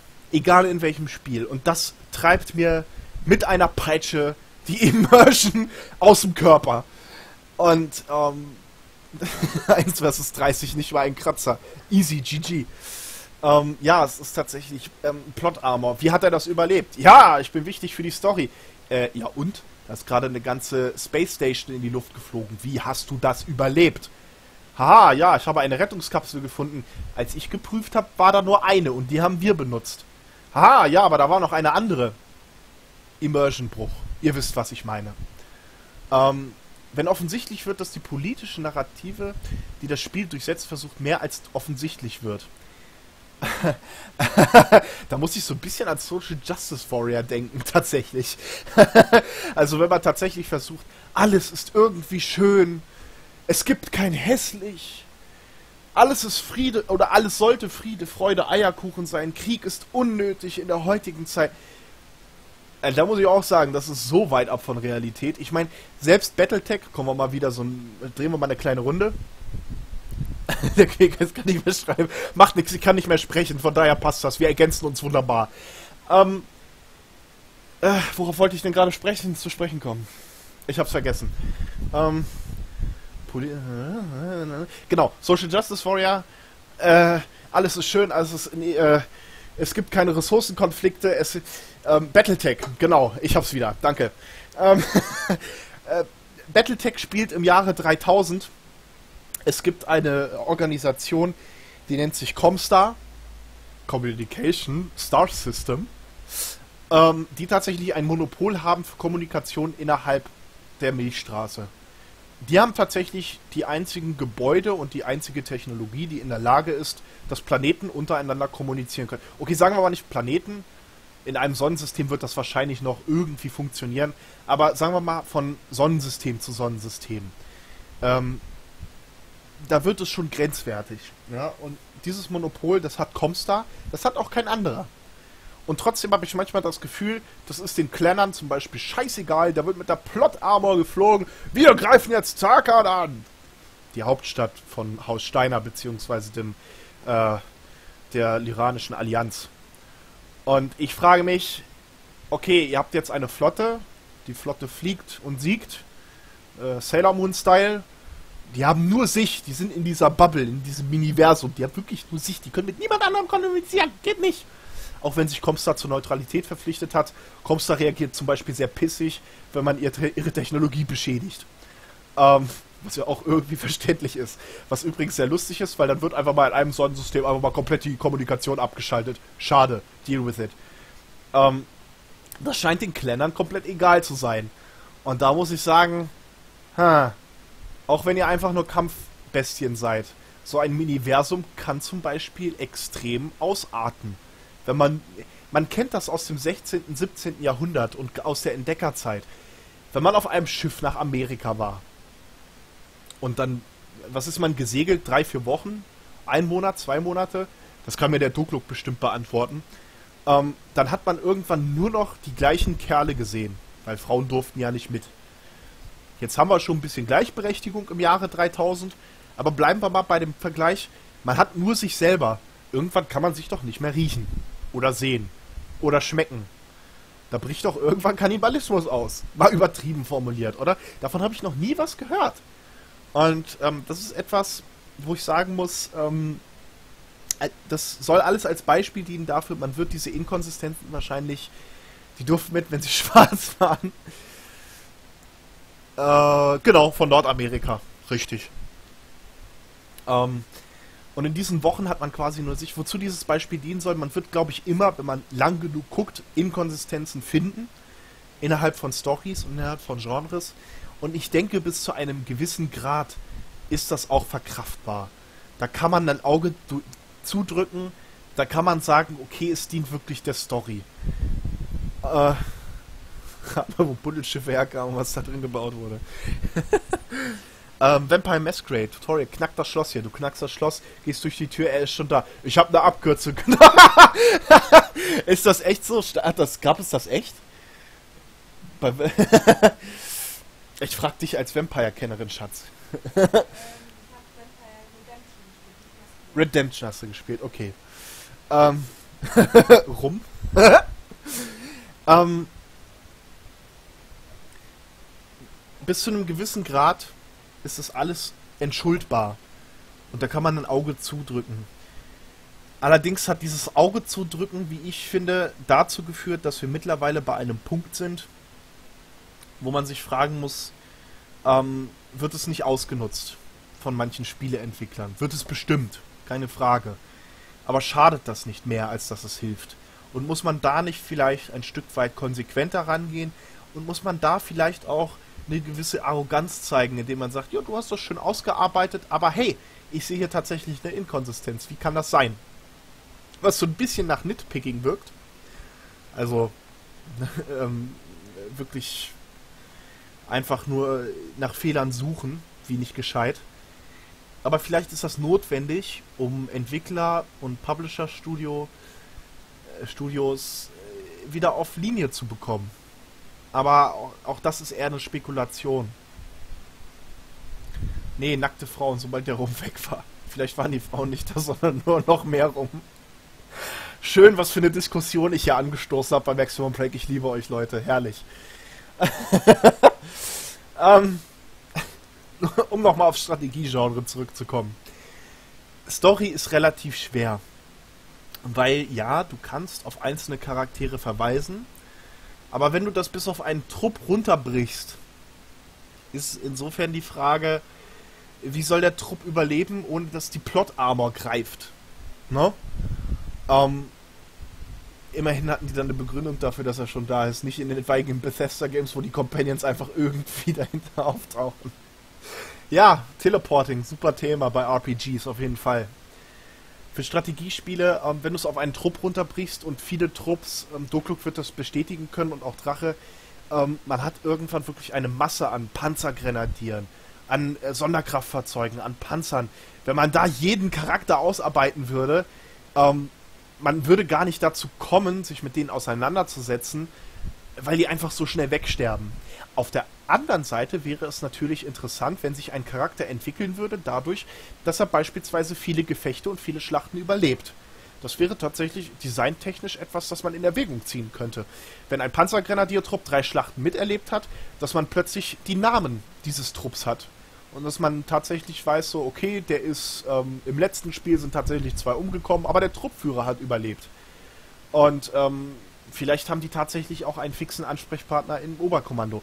Ist alles nur Planspiel. Weiß ich auch nicht, wie das umsetzbar äh, wäre. Da müsste ich mich tatsächlich mal intensiv mit auseinandersetzen.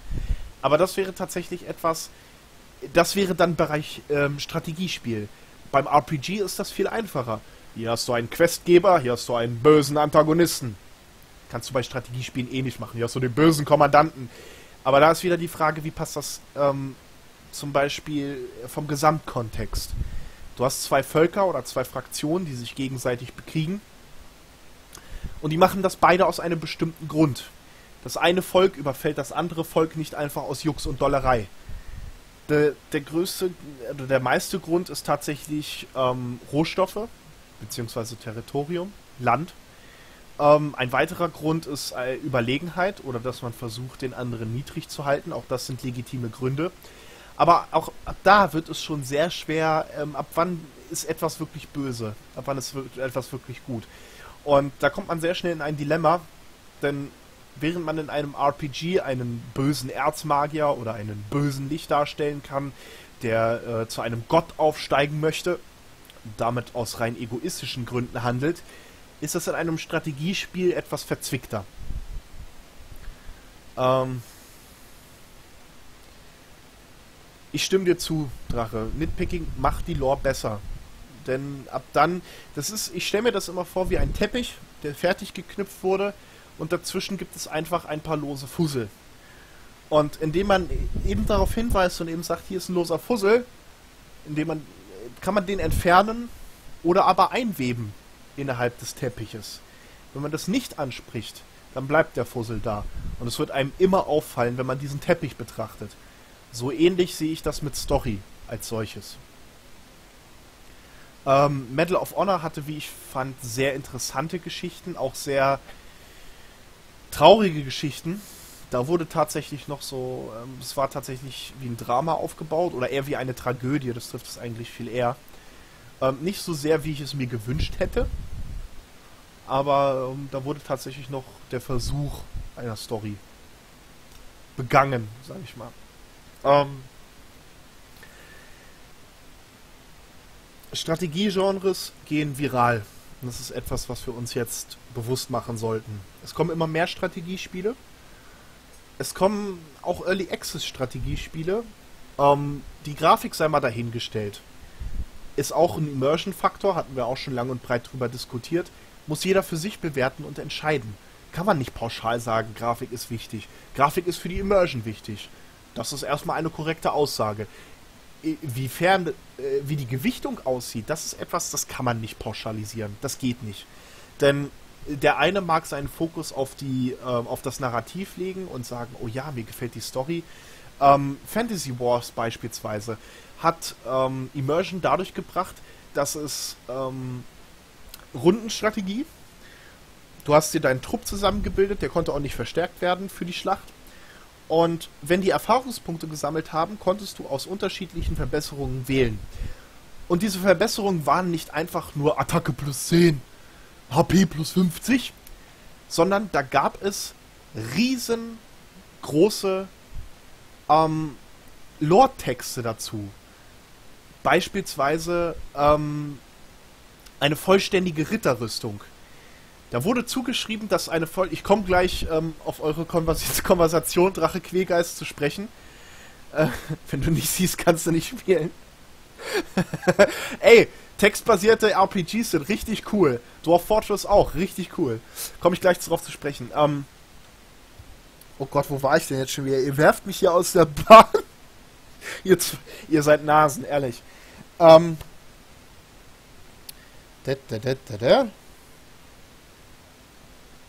Habe ich vergessen. Ähm, Effekte stehen, Dankeschön. Ähm, man hatte eine riesen Lore für die Kavallerie. Man konnte die mit einer vollständigen Ritterrüstung, die Armor gebracht hat, aufrüsten. Aber gleichzeitig stand als Lore-Text darunter, dass eine vollständige Ritterrüstung etwas ist, wovon viele Ritter nur träumen. Und dass das eigentlich, dass eine vollständige Ritterrüstung so eigentlich auch gar nicht finanzierbar ist auch nicht für einen Lehnsherren, sondern dass es sich dabei eher um eine Ansammlung von verschiedenen Plattenteilen gehandelt hat, ähm, die die Ritter sich selber, also teilweise selber erstanden haben, teilweise gestellt bekommen haben. Und das fand ich immersion-technisch ähm, unfassbar geil, weil das hat mir gezeigt, okay, das ist nicht einfach nur Ritterrüstung, sondern es ist tatsächlich etwas, das ist meine Einheit Ritter stolz drauf. Und schon haben die ein bisschen mehr Seele bekommen. Ähm, Grafik unterstützt Gameplay. Ich glaube, was Drache meint, ist nicht Gameplay, ähm, sondern tatsächlich auch Immersion im Sinne von, wenn ich schieße und ich sehe, da spritzt Blut oder ich sehe, da hat jemand eine Schussverletzung an der Schulter, ähm, und diese Schussverletzung wird in Anführungszeichen ausgelebt, dann ähm, Grafiken unterstützen, dann hat man Die auch Grafik, also ich, ich, ich bin wieder da. Grillen war geil. Ich liebe, ich, ich liebe unseren Channel einfach. Allein, was du verpasst hast, ist übrigens die Diskussion. Ähm, ich habe einen Vergleich gemacht äh, zwischen im Jahre 3000, wie man mit Spaceships von Solarsystem zu Solarsystem fliegt, ähm, zur Kolonialzeit und zur Entdeckerzeit und dass man da ja wochenlang im Endeffekt auf seinem eigenen Universum gelebt hat. Äh, Die Diskussion ist super geil geworden, kann ich nur empfehlen. Lies es nach im Chat. Hammergeil. Ähm, Boah, ja. Schuss geht durch, keine Trefferbugs. Äh, tre genau. Grafik ist äh, die Schnittstelle zwischen deinen Button Presses. Grafik ist wichtig. Grafik ist äh, Grafik, die, die Grafik sorgt dafür, dass du einen Knopf drückst und, du, und dann geht der Input, geht ins Spiel, wird vom Spiel verarbeitet, geht dann in den Bildschirm und der Bildschirm zeigt an, was der Grafik, äh, was sein Button-Input bewirkt hat im Spiel. Also Grafik, ja, unterstützt nicht nur Gameplay, sondern definiert auch das Gameplay tatsächlich.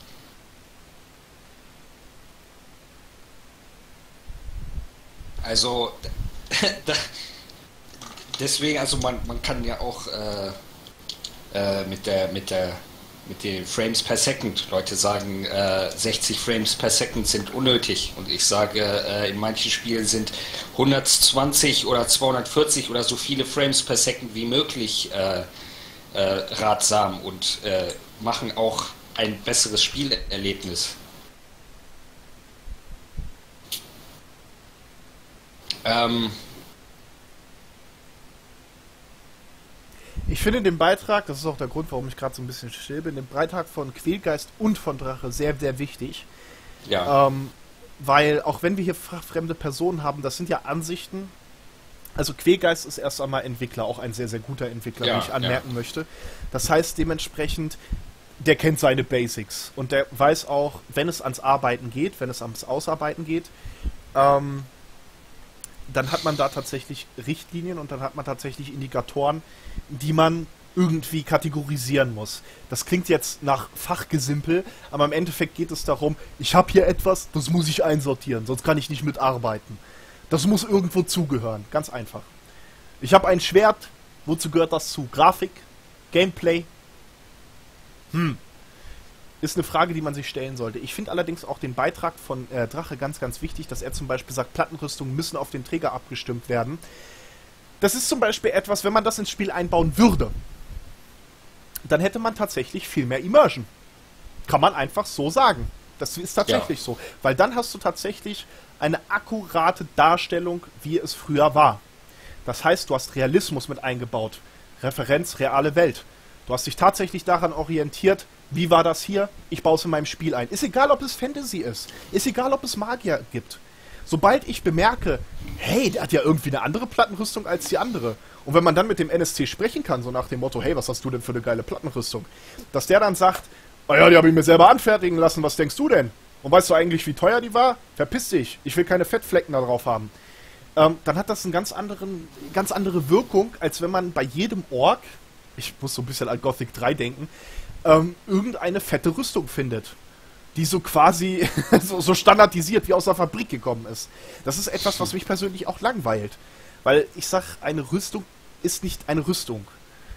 Wenn du krank bist, bist du krank, wenn du Urlaub hast, hast du Urlaub. Ähm, eine Rüstung besteht aus vielen verschiedenen Teilen. Und eine Rüstung definiert sich dadurch, wie, was für Teile ein jeder verwendet. Ist es etwas, ähm, passt da vielleicht die Armschiene nicht? Sieht man das? Äh, Sind die Schulterplatten vielleicht ein bisschen zu groß geworden, weshalb der Kopf so ein bisschen klein wirkt dazwischen? Das sind Dinge, die helfen tatsächlich bei Immersion. Das kann sehr schnell in Comedy abdriften, keine Frage. Aber das ist etwas, da muss ich sagen, das hilft tatsächlich bei Immersion.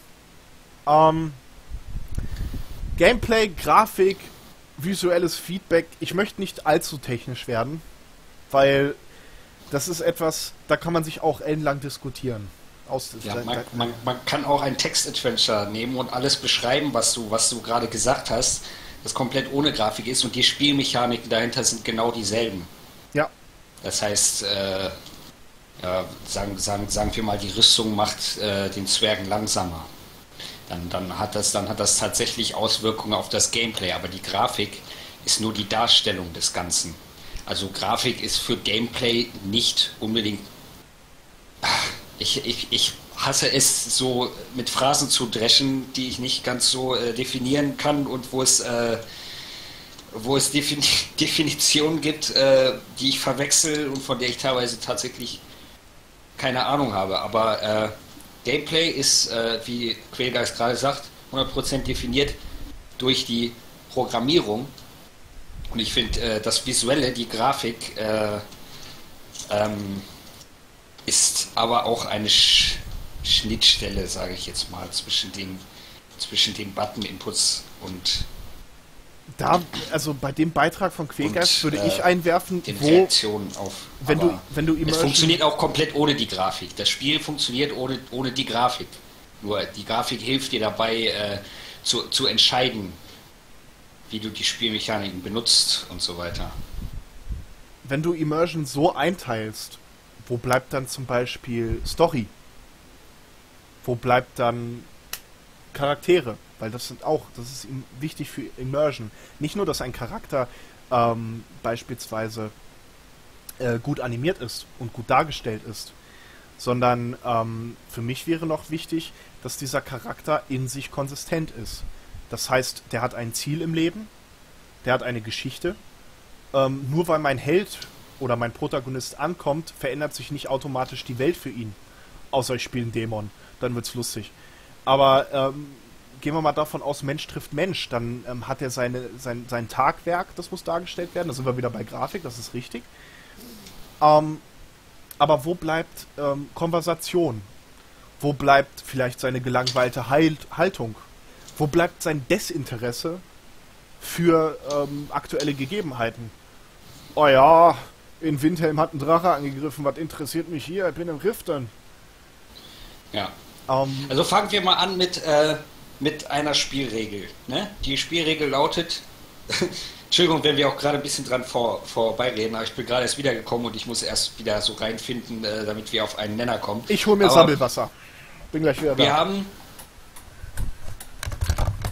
Ja gut, ich wollte jetzt eigentlich auch äh, dem Stefan das, äh, dem Jesaja das hauptsächlich erzählen. Weil äh, wir haben ja Figur A, also Entity A, Entity B. Du bist Entity A. Wenn du als Entity A einen Knopf drückst, zum Beispiel den X-Knopf, dann verschwindet Entity B. So, das ist die Spielregel. Und wenn du jetzt äh, äh, Grafiken dazu äh, dazu schaltest, dann hast du entweder einen, einen Typen mit Schwert, der auf dem Rücken vom X-Knopf äh, das Schwert schwingt und äh, dem Typen B den Kopf abschlägt, oder du hast den Typen A, der eine Pistole hat und äh, den Typen B erschießt, oder du hast einen Panzer, der schießt, oder du hast, äh, ne, da, da, da wird das, äh, das ist aber technisch gesehen kein Gameplay an sich, was die Grafik dadurch verändert, sondern nur eine, ne, das, das lässt, das umrahmt die Spielregeln mit einem, mit einem fantastischen äh, Sinn und äh, einer Idee dahinter, sodass man äh, eine Motivation hat, das Spiel weiterzuspielen. Und ja, im Endeffekt hat man tatsächlich nur die, das programmierte Regelwerk, wo du Knöpfe drückst und äh, je nachdem, welche Knöpfe du drückst, äh, gewinnst du oder verlierst du. Und Grafik, äh, Sounddesign, Animation äh, ist wirklich nur dazu da, um dem Ganzen ein Setting zu geben und die Immersion zu geben und dem Spieler äh, eine Idee davon zu geben, was für Knöpfe er denn am besten drückt, um es, äh, um dieses Spiel zu gewinnen. Also eine, eine, eine Hilfestellung, um, die, äh, um das Spiel ne, um die Spielregeln so zu benutzen, der, der Game Designer und äh, der Storyteller wirklich dann auch ersonnen hat. Ich finde das übrigens, möchte ich nur noch mal einwerfen. Richtig geil, wie ihr miteinander diskutiert und wie ihr miteinander redet. Das will ich ab jetzt jeden Podcast aufschreiben, mit nach Hause nehmen. Dienstag will ich eure Eltern sehen. Ähm, Elternsprechtag. ähm, ich würde trotzdem sagen, als Vorschlag zu Güte, wir nehmen dieses Thema mit in den nächsten Podcast. Dafür nehmen wir uns dann wirklich mehr Zeit. Das heißt, das kriegt dann tatsächlich zwei Themen Zeit, sagen wir mal. Und dann können wir uns wirklich nochmal intensiv damit auseinandersetzen. Das halte ich für sinnvoller. Weil ich würde gern, wir sind mittlerweile bei über zwei Stunden. Ähm, Ja. ich würde jetzt gerne noch auf das letzte Thema zu sprechen kommen und das ist etwas, wo wir uns alle gemeinsam nochmal richtig schön aufregen können. Habt ihr über The Search geredet? Und, äh, Nein, äh, haben das, wir nicht. Das, das packen wir in den nächsten Podcast, dann kann ich mich noch ein bisschen mehr drüber, äh, drüber in, informieren, denn es geht halt einfach darum, dass ein, das äh, Souls-like jetzt ein Genre, äh, jetzt zu einem Genre wird oder viele fangen fang, fangen an, Souls-like als ein Genre zu nehmen, Aha. was ich für absoluten Quatsch finde, weil was die, äh, die Kriterien, die ein Souls-like als Genre ausmachen, sind nichts weiteres als ein, äh, sind nichts anderes als ein Kampfsystem. Boah, was war das für ein Sound, Junge? Wow, wow, wow, wow, wow. Was ist los? Das ist mein Ventilator. Ich Gott, bitte um? Verzeihung.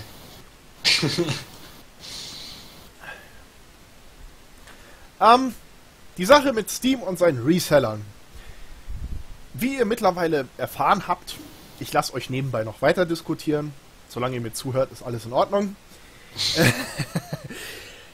Wie mittlerweile jeder von euch wissen sollte, bin ich ein ziemlich großer Fan von Resellern, weil ähm, Fangfrage, was hältst du von G2A? äh, Hast du mit G2A Erfahrung Äh, gemacht? Ja, sehr, sehr viel Erfahrung tatsächlich. Ähm, es ist ein gemischtes Verhältnis. Ich verwende G2A nur in Verbindung mit PayPal. Das hat einen Ja. ganz spezifischen Grund. Die Preise Ja. sind super. Und ich Mhm. hatte auch noch nie, Pro doch einmal hatte ich ein Problem, was einzulösen. Da muss ich aber auch sagen, das war, das hat Steam so halb verkackt, weil die haben falsche CD-Keys ausgegeben und weiterverkauft. Und ich habe das dann versucht zu aktivieren und wir haben uns quasi zu dritt an den Tisch gesetzt ich als Kunde, G2A und Steam und wir haben uns gesagt, hä, was ist denn hier los? das war ein bisschen weird. Ähm, womit ich Probleme habe bei G2A ist das Refunding. Und aber da hilft mir PayPal. An dieser Stelle muss ich wirklich eine Lanze für PayPal brechen. Hammer wie die, das ist wirklich Community-Arbeit, das ist wirklich Kundenzufriedenheit, was die da generieren wollen. Weil jedes Mal, wenn ich sage, ey, das Spiel ist total verbuggt und ich, ich kann es einfach nicht mehr weiterspielen, das ist einfach, es ist ätzend. Ich habe es jetzt fünf Stunden gespielt, ich würde es gern zurückgeben nach zwei Tagen. Dann sagt PayPal, alles klar, wir übernehmen deinen Fall. So, und dann gehen die auf G2A zu, dann wird das ausdiskutiert und PayPal als, äh, ich sag mal in Anführungszeichen BWL-Firma, ist da knallhart und sagt, der hat ein Rückgaberecht. Das ist so. Ist egal, ob er es gebraucht erworben hat. Der hat ein Rückgaberecht. So, GTA hat sich da bislang immer wieder gegen gesträubt. Gerade, das hängt aber auch damit zusammen, dass G2A eher eine Plattform ist, wo viele verschiedene Händler ihre CD-Keys anbieten. Und da hatte ich schon Händler, zum Beispiel einen Russen, der nicht wirklich Englisch sprechen konnte und auch nicht Deutsch. Ich habe es dann mit meinem gebrochenen Russisch versucht. Das war sehr merkwürdig. Ähm, wo ich gesagt habe, okay, PayPal, regel das. Und PayPal hat gesagt, machen wir. Ähm, da ging es zum Beispiel darum, dass ich einen CD-Key erworben habe, oder einen Steam-Key, um genauer zu sein, bei dem nicht angegeben wurde, dass der nicht für meine Region freischaltbar ist. Da hat diese äh, Information einfach gefehlt. Es war ein CD-Key für Rest of the World, wie man so schön sagt. Ähm, kann ich auch beim nächsten Podcast mal anschneiden, so verschiedene Gebiete, wo verkauft wird. Und ich konnte es dementsprechend nicht aktivieren und habe gesagt, was ist das denn? Hier, guckt mal hier auf eure Shopseite, da steht nichts davon. Ja, äh, doch, steht da. Irgendwo ganz klein in der Beschreibung. Da habe ich gesagt, das ist zu wenig. Das ist Betrug. Und PayPal hat mir recht gegeben. Hat gesagt, das ist, äh, Ja. das ja. geht nicht. Also G2A hat eine klei- hat eine hat, hat so ein bisschen eine Geschichte und ist bei vielen äh, ein bisschen geächtet auch. Äh, äh, ich muss wieder auf Total Biscuit verweisen, er hat ganz viel darüber er erzählt, äh, dass G2A äh, sehr viel, also dass sehr viele Leute G2A als Plattform benutzt haben, um gestohlene und gepiratete CD-Keys mit gestohlenen Kreditkartennummern äh, bei G2A vertrieben haben. Deswegen hat G2A ein bisschen schlechten Ruf momentan. Hm. Äh, Link, Link dazu äh, zur Quelle, woher ich das habe, äh, im Chat. Ich bin immer noch sehr schlecht mit Zusammenfassungen, deswegen äh, tra traue ich mir da nicht, da alles so drüber zu erzählen. Ähm, aber ja, die haben nicht so viel dagegen gemacht. Also die, die haben äh, G2A vertreibt nicht selber genau. diese Keys, diese ist gestohlenen Keys, sondern hat nur sehr, sehr wenig gemacht, um diese Praktiken aufzuhalten. Richtig, wie gesagt, G2A ist eher eine Plattform, wo ja. verschiedene Händler, wie so ein Flohmarkt im Endeffekt. G2A veranstaltet den Flohmarkt, aber wer da alles verkauft, ha.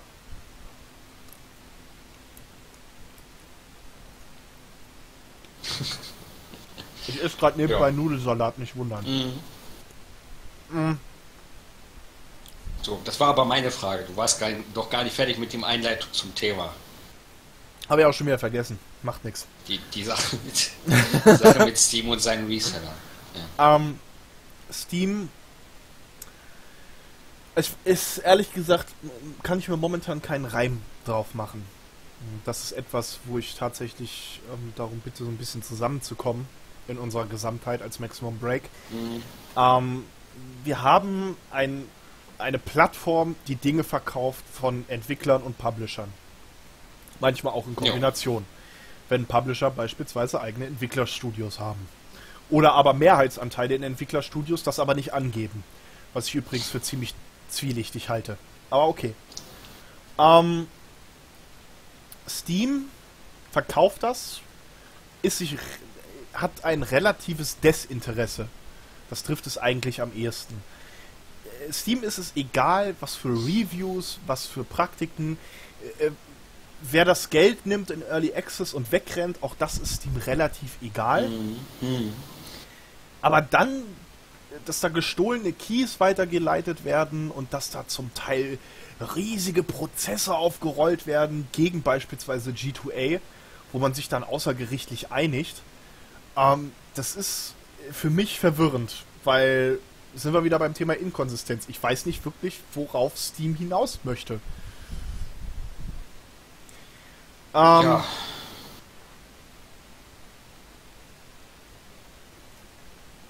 Um, um nochmal kurz ein bisschen den Chat zu moderieren. Ähm, äh, Quellgeist kommt tatsächlich aus der Sparte und hat äh, tatsächliche Erfahrung. Und ich wage zu behaupten, dass er das gelernt hat. Deswegen gebe ich auch, ihm auch äh, ziemlich viel äh, Recht, ohne selber, weil, ohne selber wirklich zu wissen, ob er Recht hat oder nicht. Ganz einfach, weil ich mich weniger äh, auskenne in der Sparte. Und äh, ich weiß auf jeden Fall, was er meint. Am besten ähm, wirklich selber mal äh, die, die Definition angucken äh, und wirklich äh, sich drüber informieren und gucken, ob äh, Quellgeist recht hat oder nicht. Richtig, weil dann kann man im Nachhinein auch immer noch widerlegen. Aber mhm. das ist etwas, ähm, das müsst ihr für euch ausmachen, ob ihr das wollt. Ähm, ja, möglichst viel Geld bei möglichst wenig Arbeit, das stimmt tatsächlich. Also den eigenen Aufwand so gering wie möglich halten. Am besten nur zwei Leute in irgendeinen Serverraum sperren und die Steam-Seiten überprüfen lassen, alle halbe Stunde. Und dabei äh, Riesengewinne abschöpfen. Ähm, ich weiß nicht. Steam ist ziemlich konkurrenzlos. Das muss ja. man leider so sagen jede Plattform, die man mir bislang vorgestellt hat, die oft, also zumindest augenscheinlich in Konkurrenz zu Steam steht, ist nicht annähernd so erfolgreich und hat nicht annähernd so viele Verträge mit Publishern und Entwicklern. Ich meine, es gibt äh, Uplay, Origin, ja, aber das sind nur, äh, die sind ja wirklich, die wollen auch keine Konkurrenz zu Steam oder so sein. Die wollen einfach vom, von Steam sich loseisen, ne? damit die ihre Spiele so verkaufen können, wie sie das für richtig halten. Und das ist keine Konkurrenz zu Steam. Dann gibt es GOG, wie schon erwähnt wurde von Benjamin. Und Humble Bundle. Äh, die, die vertreiben aber größtenteils wirklich. Äh, nee, nee, GOG nicht. Humble Bundle vertreibt größtenteils Steam, äh, Steam Keys. Und GOG ist wirklich. Äh, die, die vertreiben immer alte Spiele. Also nicht nur alte Spiele, auch viele, viele Indie-Games und deren Sache ist halt einfach, dass äh, GOG kein DRM hat.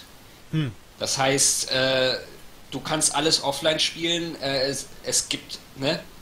Du musst nicht online in irgendeinem Klienten fürs, für äh, Steam sein. Die verkaufen immer DRM-freie Spiele. Das ist das, äh, womit GOG äh, an der Spitze ist. Hm. Also ich weiß, ich habe von GOG ein oder zwei Spiele erworben. Das waren aber wirklich alte Spiele. Ich müsste jetzt nochmal nachgucken, welche das waren.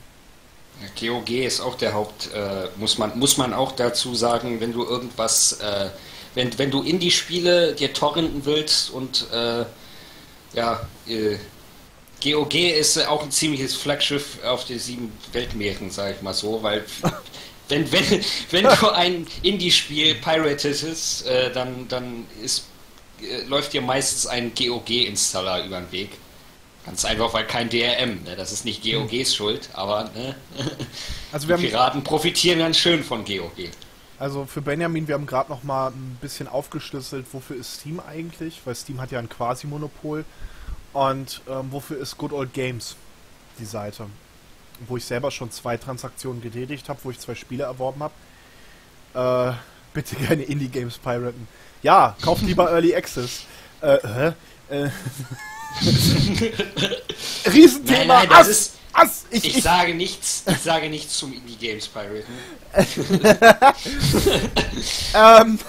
ich, nein, ich tue das auch nicht. Also wirklich. Äh, auch wenn es jetzt so angehört hat.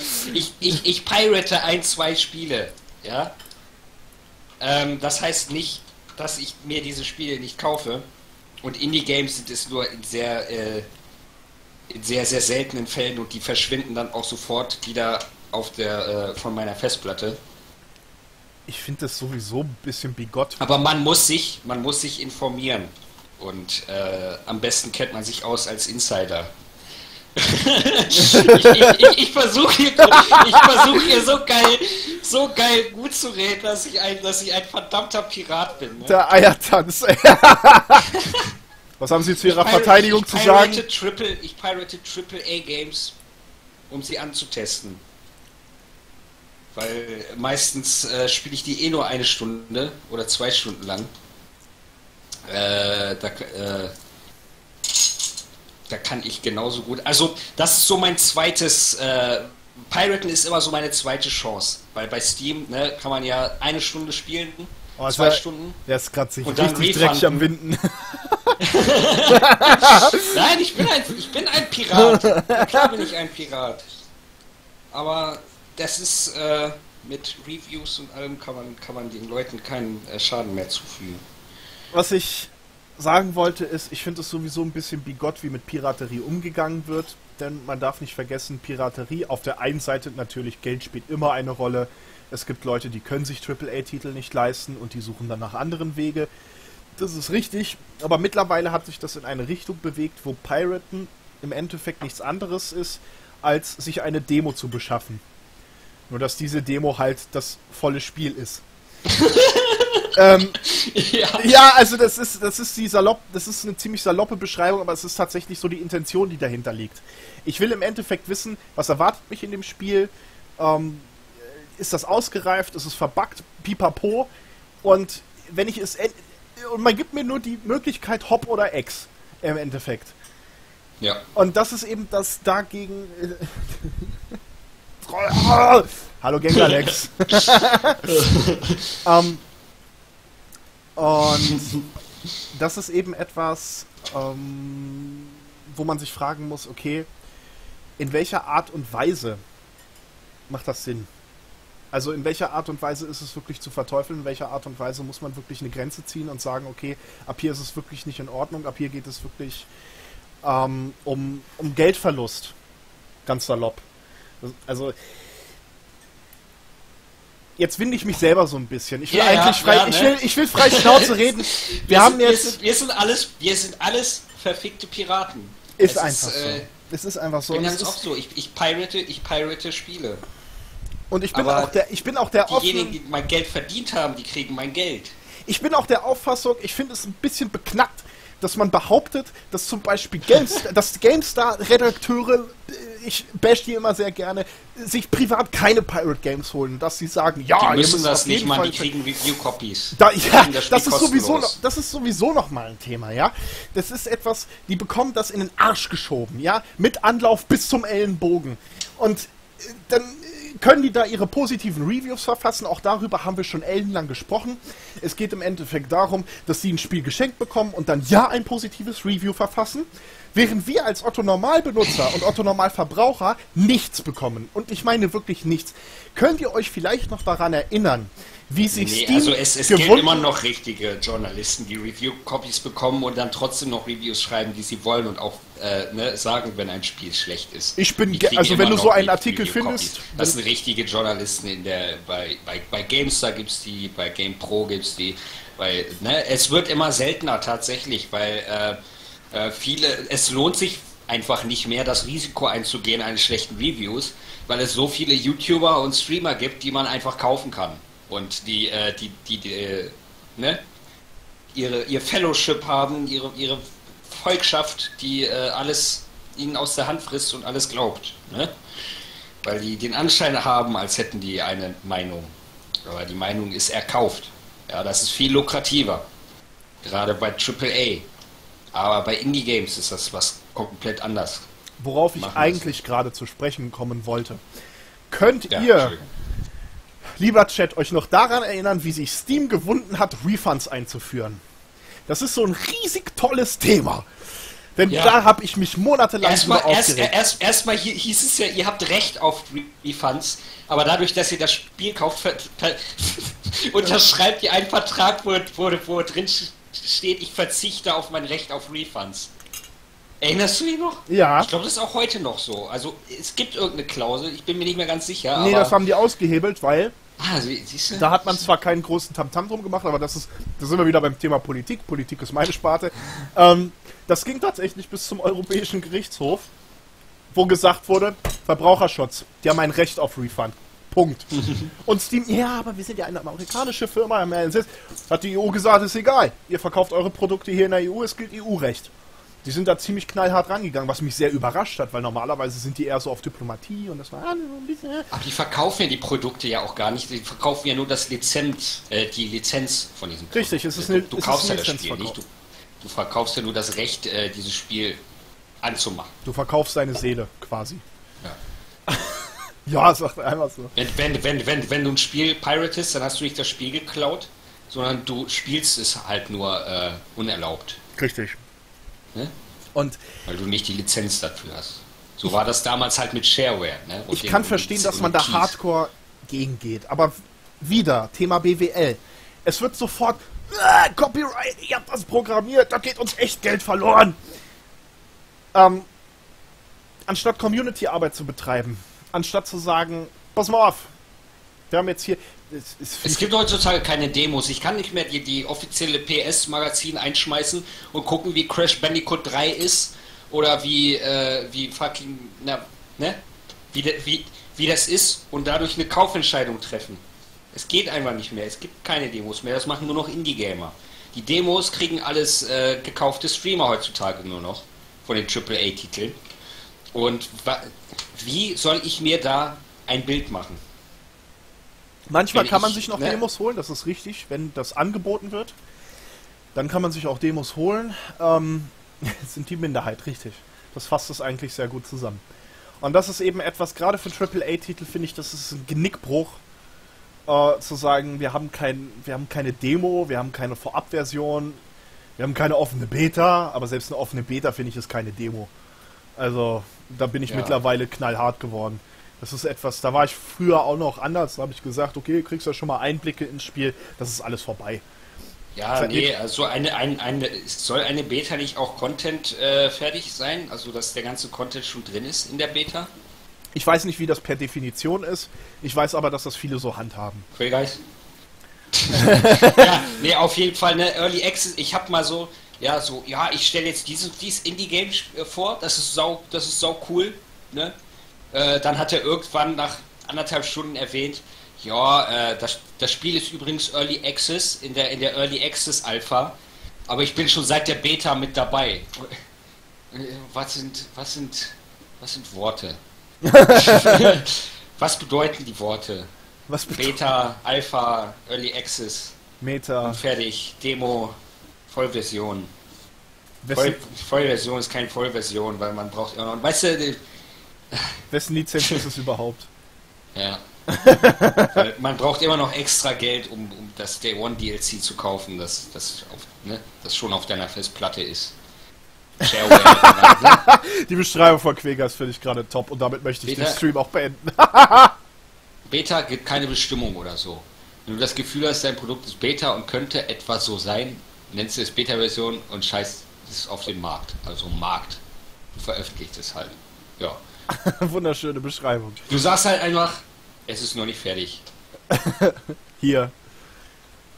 Und Alpha, Alpha ist eigentlich, also laut meiner Idee, was, was eine Alpha ist. Alpha ist eigentlich das, was überhaupt gar nicht an die Öffentlichkeit geht, sondern im Studio bleibt, im, im Entwicklerstudio. Da sind Sachen drin, alles wird anders aussehen. Das ist ein, das ist ja äh, ein Work in Progress, das in der, äh, das noch in der Ideenphase steckt, äh, wo das, das Endprodukt absolut überhaupt nicht mehr ne, äh, danach aussieht, nach dieser Alpha. Kann Weil der erhebliche... ganzen Early Access Alpha, die sehen alle schon so aus, ne? Und die sehen bei Release immer noch genauso aus. Wie in, wie in der Alpha. kann erhebliche Änderungen nach sich ziehen. Ja, ja. Spielerfahrung in der Alpha kann vom eine- realen Spielerlebnis abweichen. Und, und ein, ein, eine Beta war für mich immer das, was man spielt und man weiß, was man bekommt. So war das noch bei Guild Wars 2, kann ich mich noch erinnern. Ich hatte Beta-Zugang damals. Ähm, man sieht schon, was man bekommt, hundertprozentig, und äh, es, es wird jetzt losgesch äh, losgeschickt auf äh, Playtester, äh, damit Bugs gefixt werden können und so weiter. Ich bin immer Ja, noch und heutzutage hat jeder schon Zugang zu dieser, zu dieser, ne? Pre-Alpha. Ja, ja. Das größte, das ist ein Unwort. Das ist ein Unwort für mich. Pre-Alpha. Ja. Hol dir jetzt den Ja, Zugang zu Alpha, Pre-Alpha. Alpha kommt als, als erstes, aber es gibt eine Prä-Alpha. Ja. Das ist halt, das ist halt dieses so. Das ist auch wieder so pretentious und das, dieses Wort wurde kaputt. Wurde, wurde kaputt gewirtschaftet. Weil das, dieses Prä-Alpha bedeutet jetzt, das ist da, da, da steht die Botschaft, wenn ich eine Prä-Alpha verkaufe als Early Access. Deswegen, Quellgeist, ich finde, du, äh, ähm, du, hast ja, du hast ja gesagt, irgendwie müssen die eher Geld machen.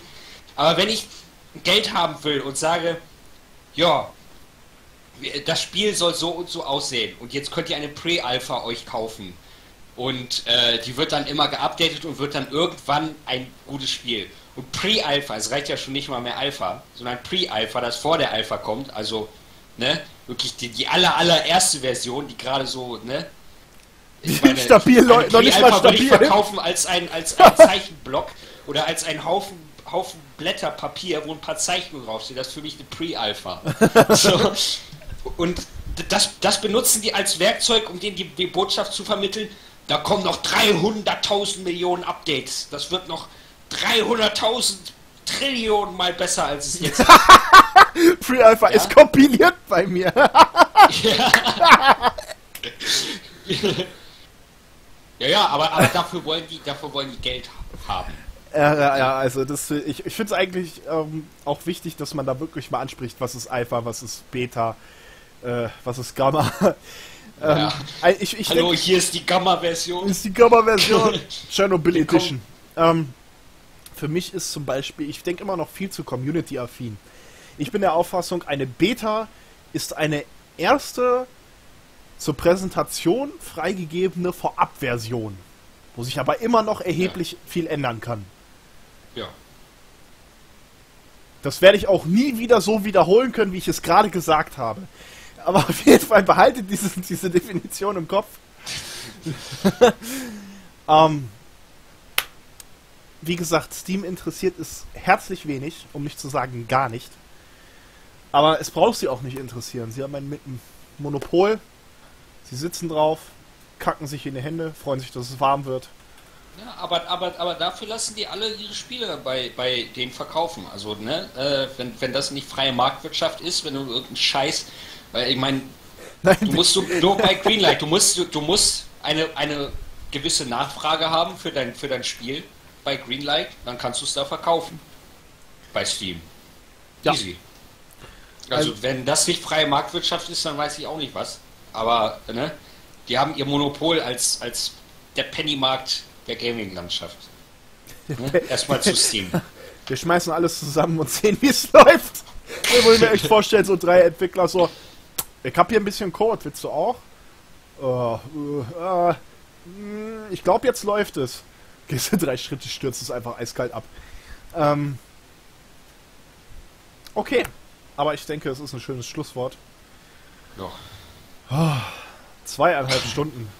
hat Wow. Spaß gemacht. Richtig in Fahrt gekommen. it's time to say goodbye, Günther. ähm, ja, Ich hab Bock auf Death Road to Canada irgendwie. Hat wer Bock auf Death Road to Canada? Dann mach ich gleich weiter. Äh, ja, wer da bleiben will, kann sich der Road to Canada angucken. Ich werde jetzt erstmal kacken gehen. Das ist erstmal eine Maßnahme. Ich, ich auch. Ich, Mein Bier ist alle. Nachmacher. Tatsächlich, seit ich wieder hier bin, ein Bier. Ich fand das übrigens so süß, das möchte ich noch anmerken. Hm? Ich habe einfach mal gegoogelt, weil ich es, ihr, ihr wisst ja, ich bin neugierig, ich kann es nicht lassen. Ich habe einfach mal gegoogelt, was, was brauchst du für einen erfolgreichen Stream? Was, was, welche Meinung haben hier einige, was musst du haben, damit es erfolgreich ist? Du musst Dinge verschenken, also Giveaways. Äh, du darfst nicht rauchen, du darfst nicht trinken, du darfst nicht fluchen. Ähm, du solltest dich, das fand ich das Geilste. Wir haben keine, wir haben keine Zukunft. Ich, ich, ich ziehe zieh alles runter. Ich rauche, ich trinke, ich fluche. Ach, guck mich mal an. Wir Ähm. haben nichts zu verschenken außer, außer, außer uns. Außer uns. Wir verkaufen unsere unsere Körper. Ähm, das Einzige, was du brauchst, ist ein Streamer und Unterhaltung. Der Meinung bin ich auch. Es ist interessant, wie sich diese ganze Industrie rund um Streaming, und ich denke, das nehmen wir auch für den nächsten Sonntag mal mit, ähm, in was für eine Richtung sich das begeben hat und wie das. Und, und Versprechungen. Äh, komm, wir Ja. gehen, wir gehen, wir gehen einfach, es reicht. Eben langt's. ähm, danke für die. Für einen Für die erfolgreichen Stream braucht man sowas wie Benjamin. Und zwar ganz viele davon. Quälgeist, Nero, Drache, Ja. Durklok. Danke, dass ihr alle dabei wart. Danke für diese richtig, richtig geilen Diskussionen im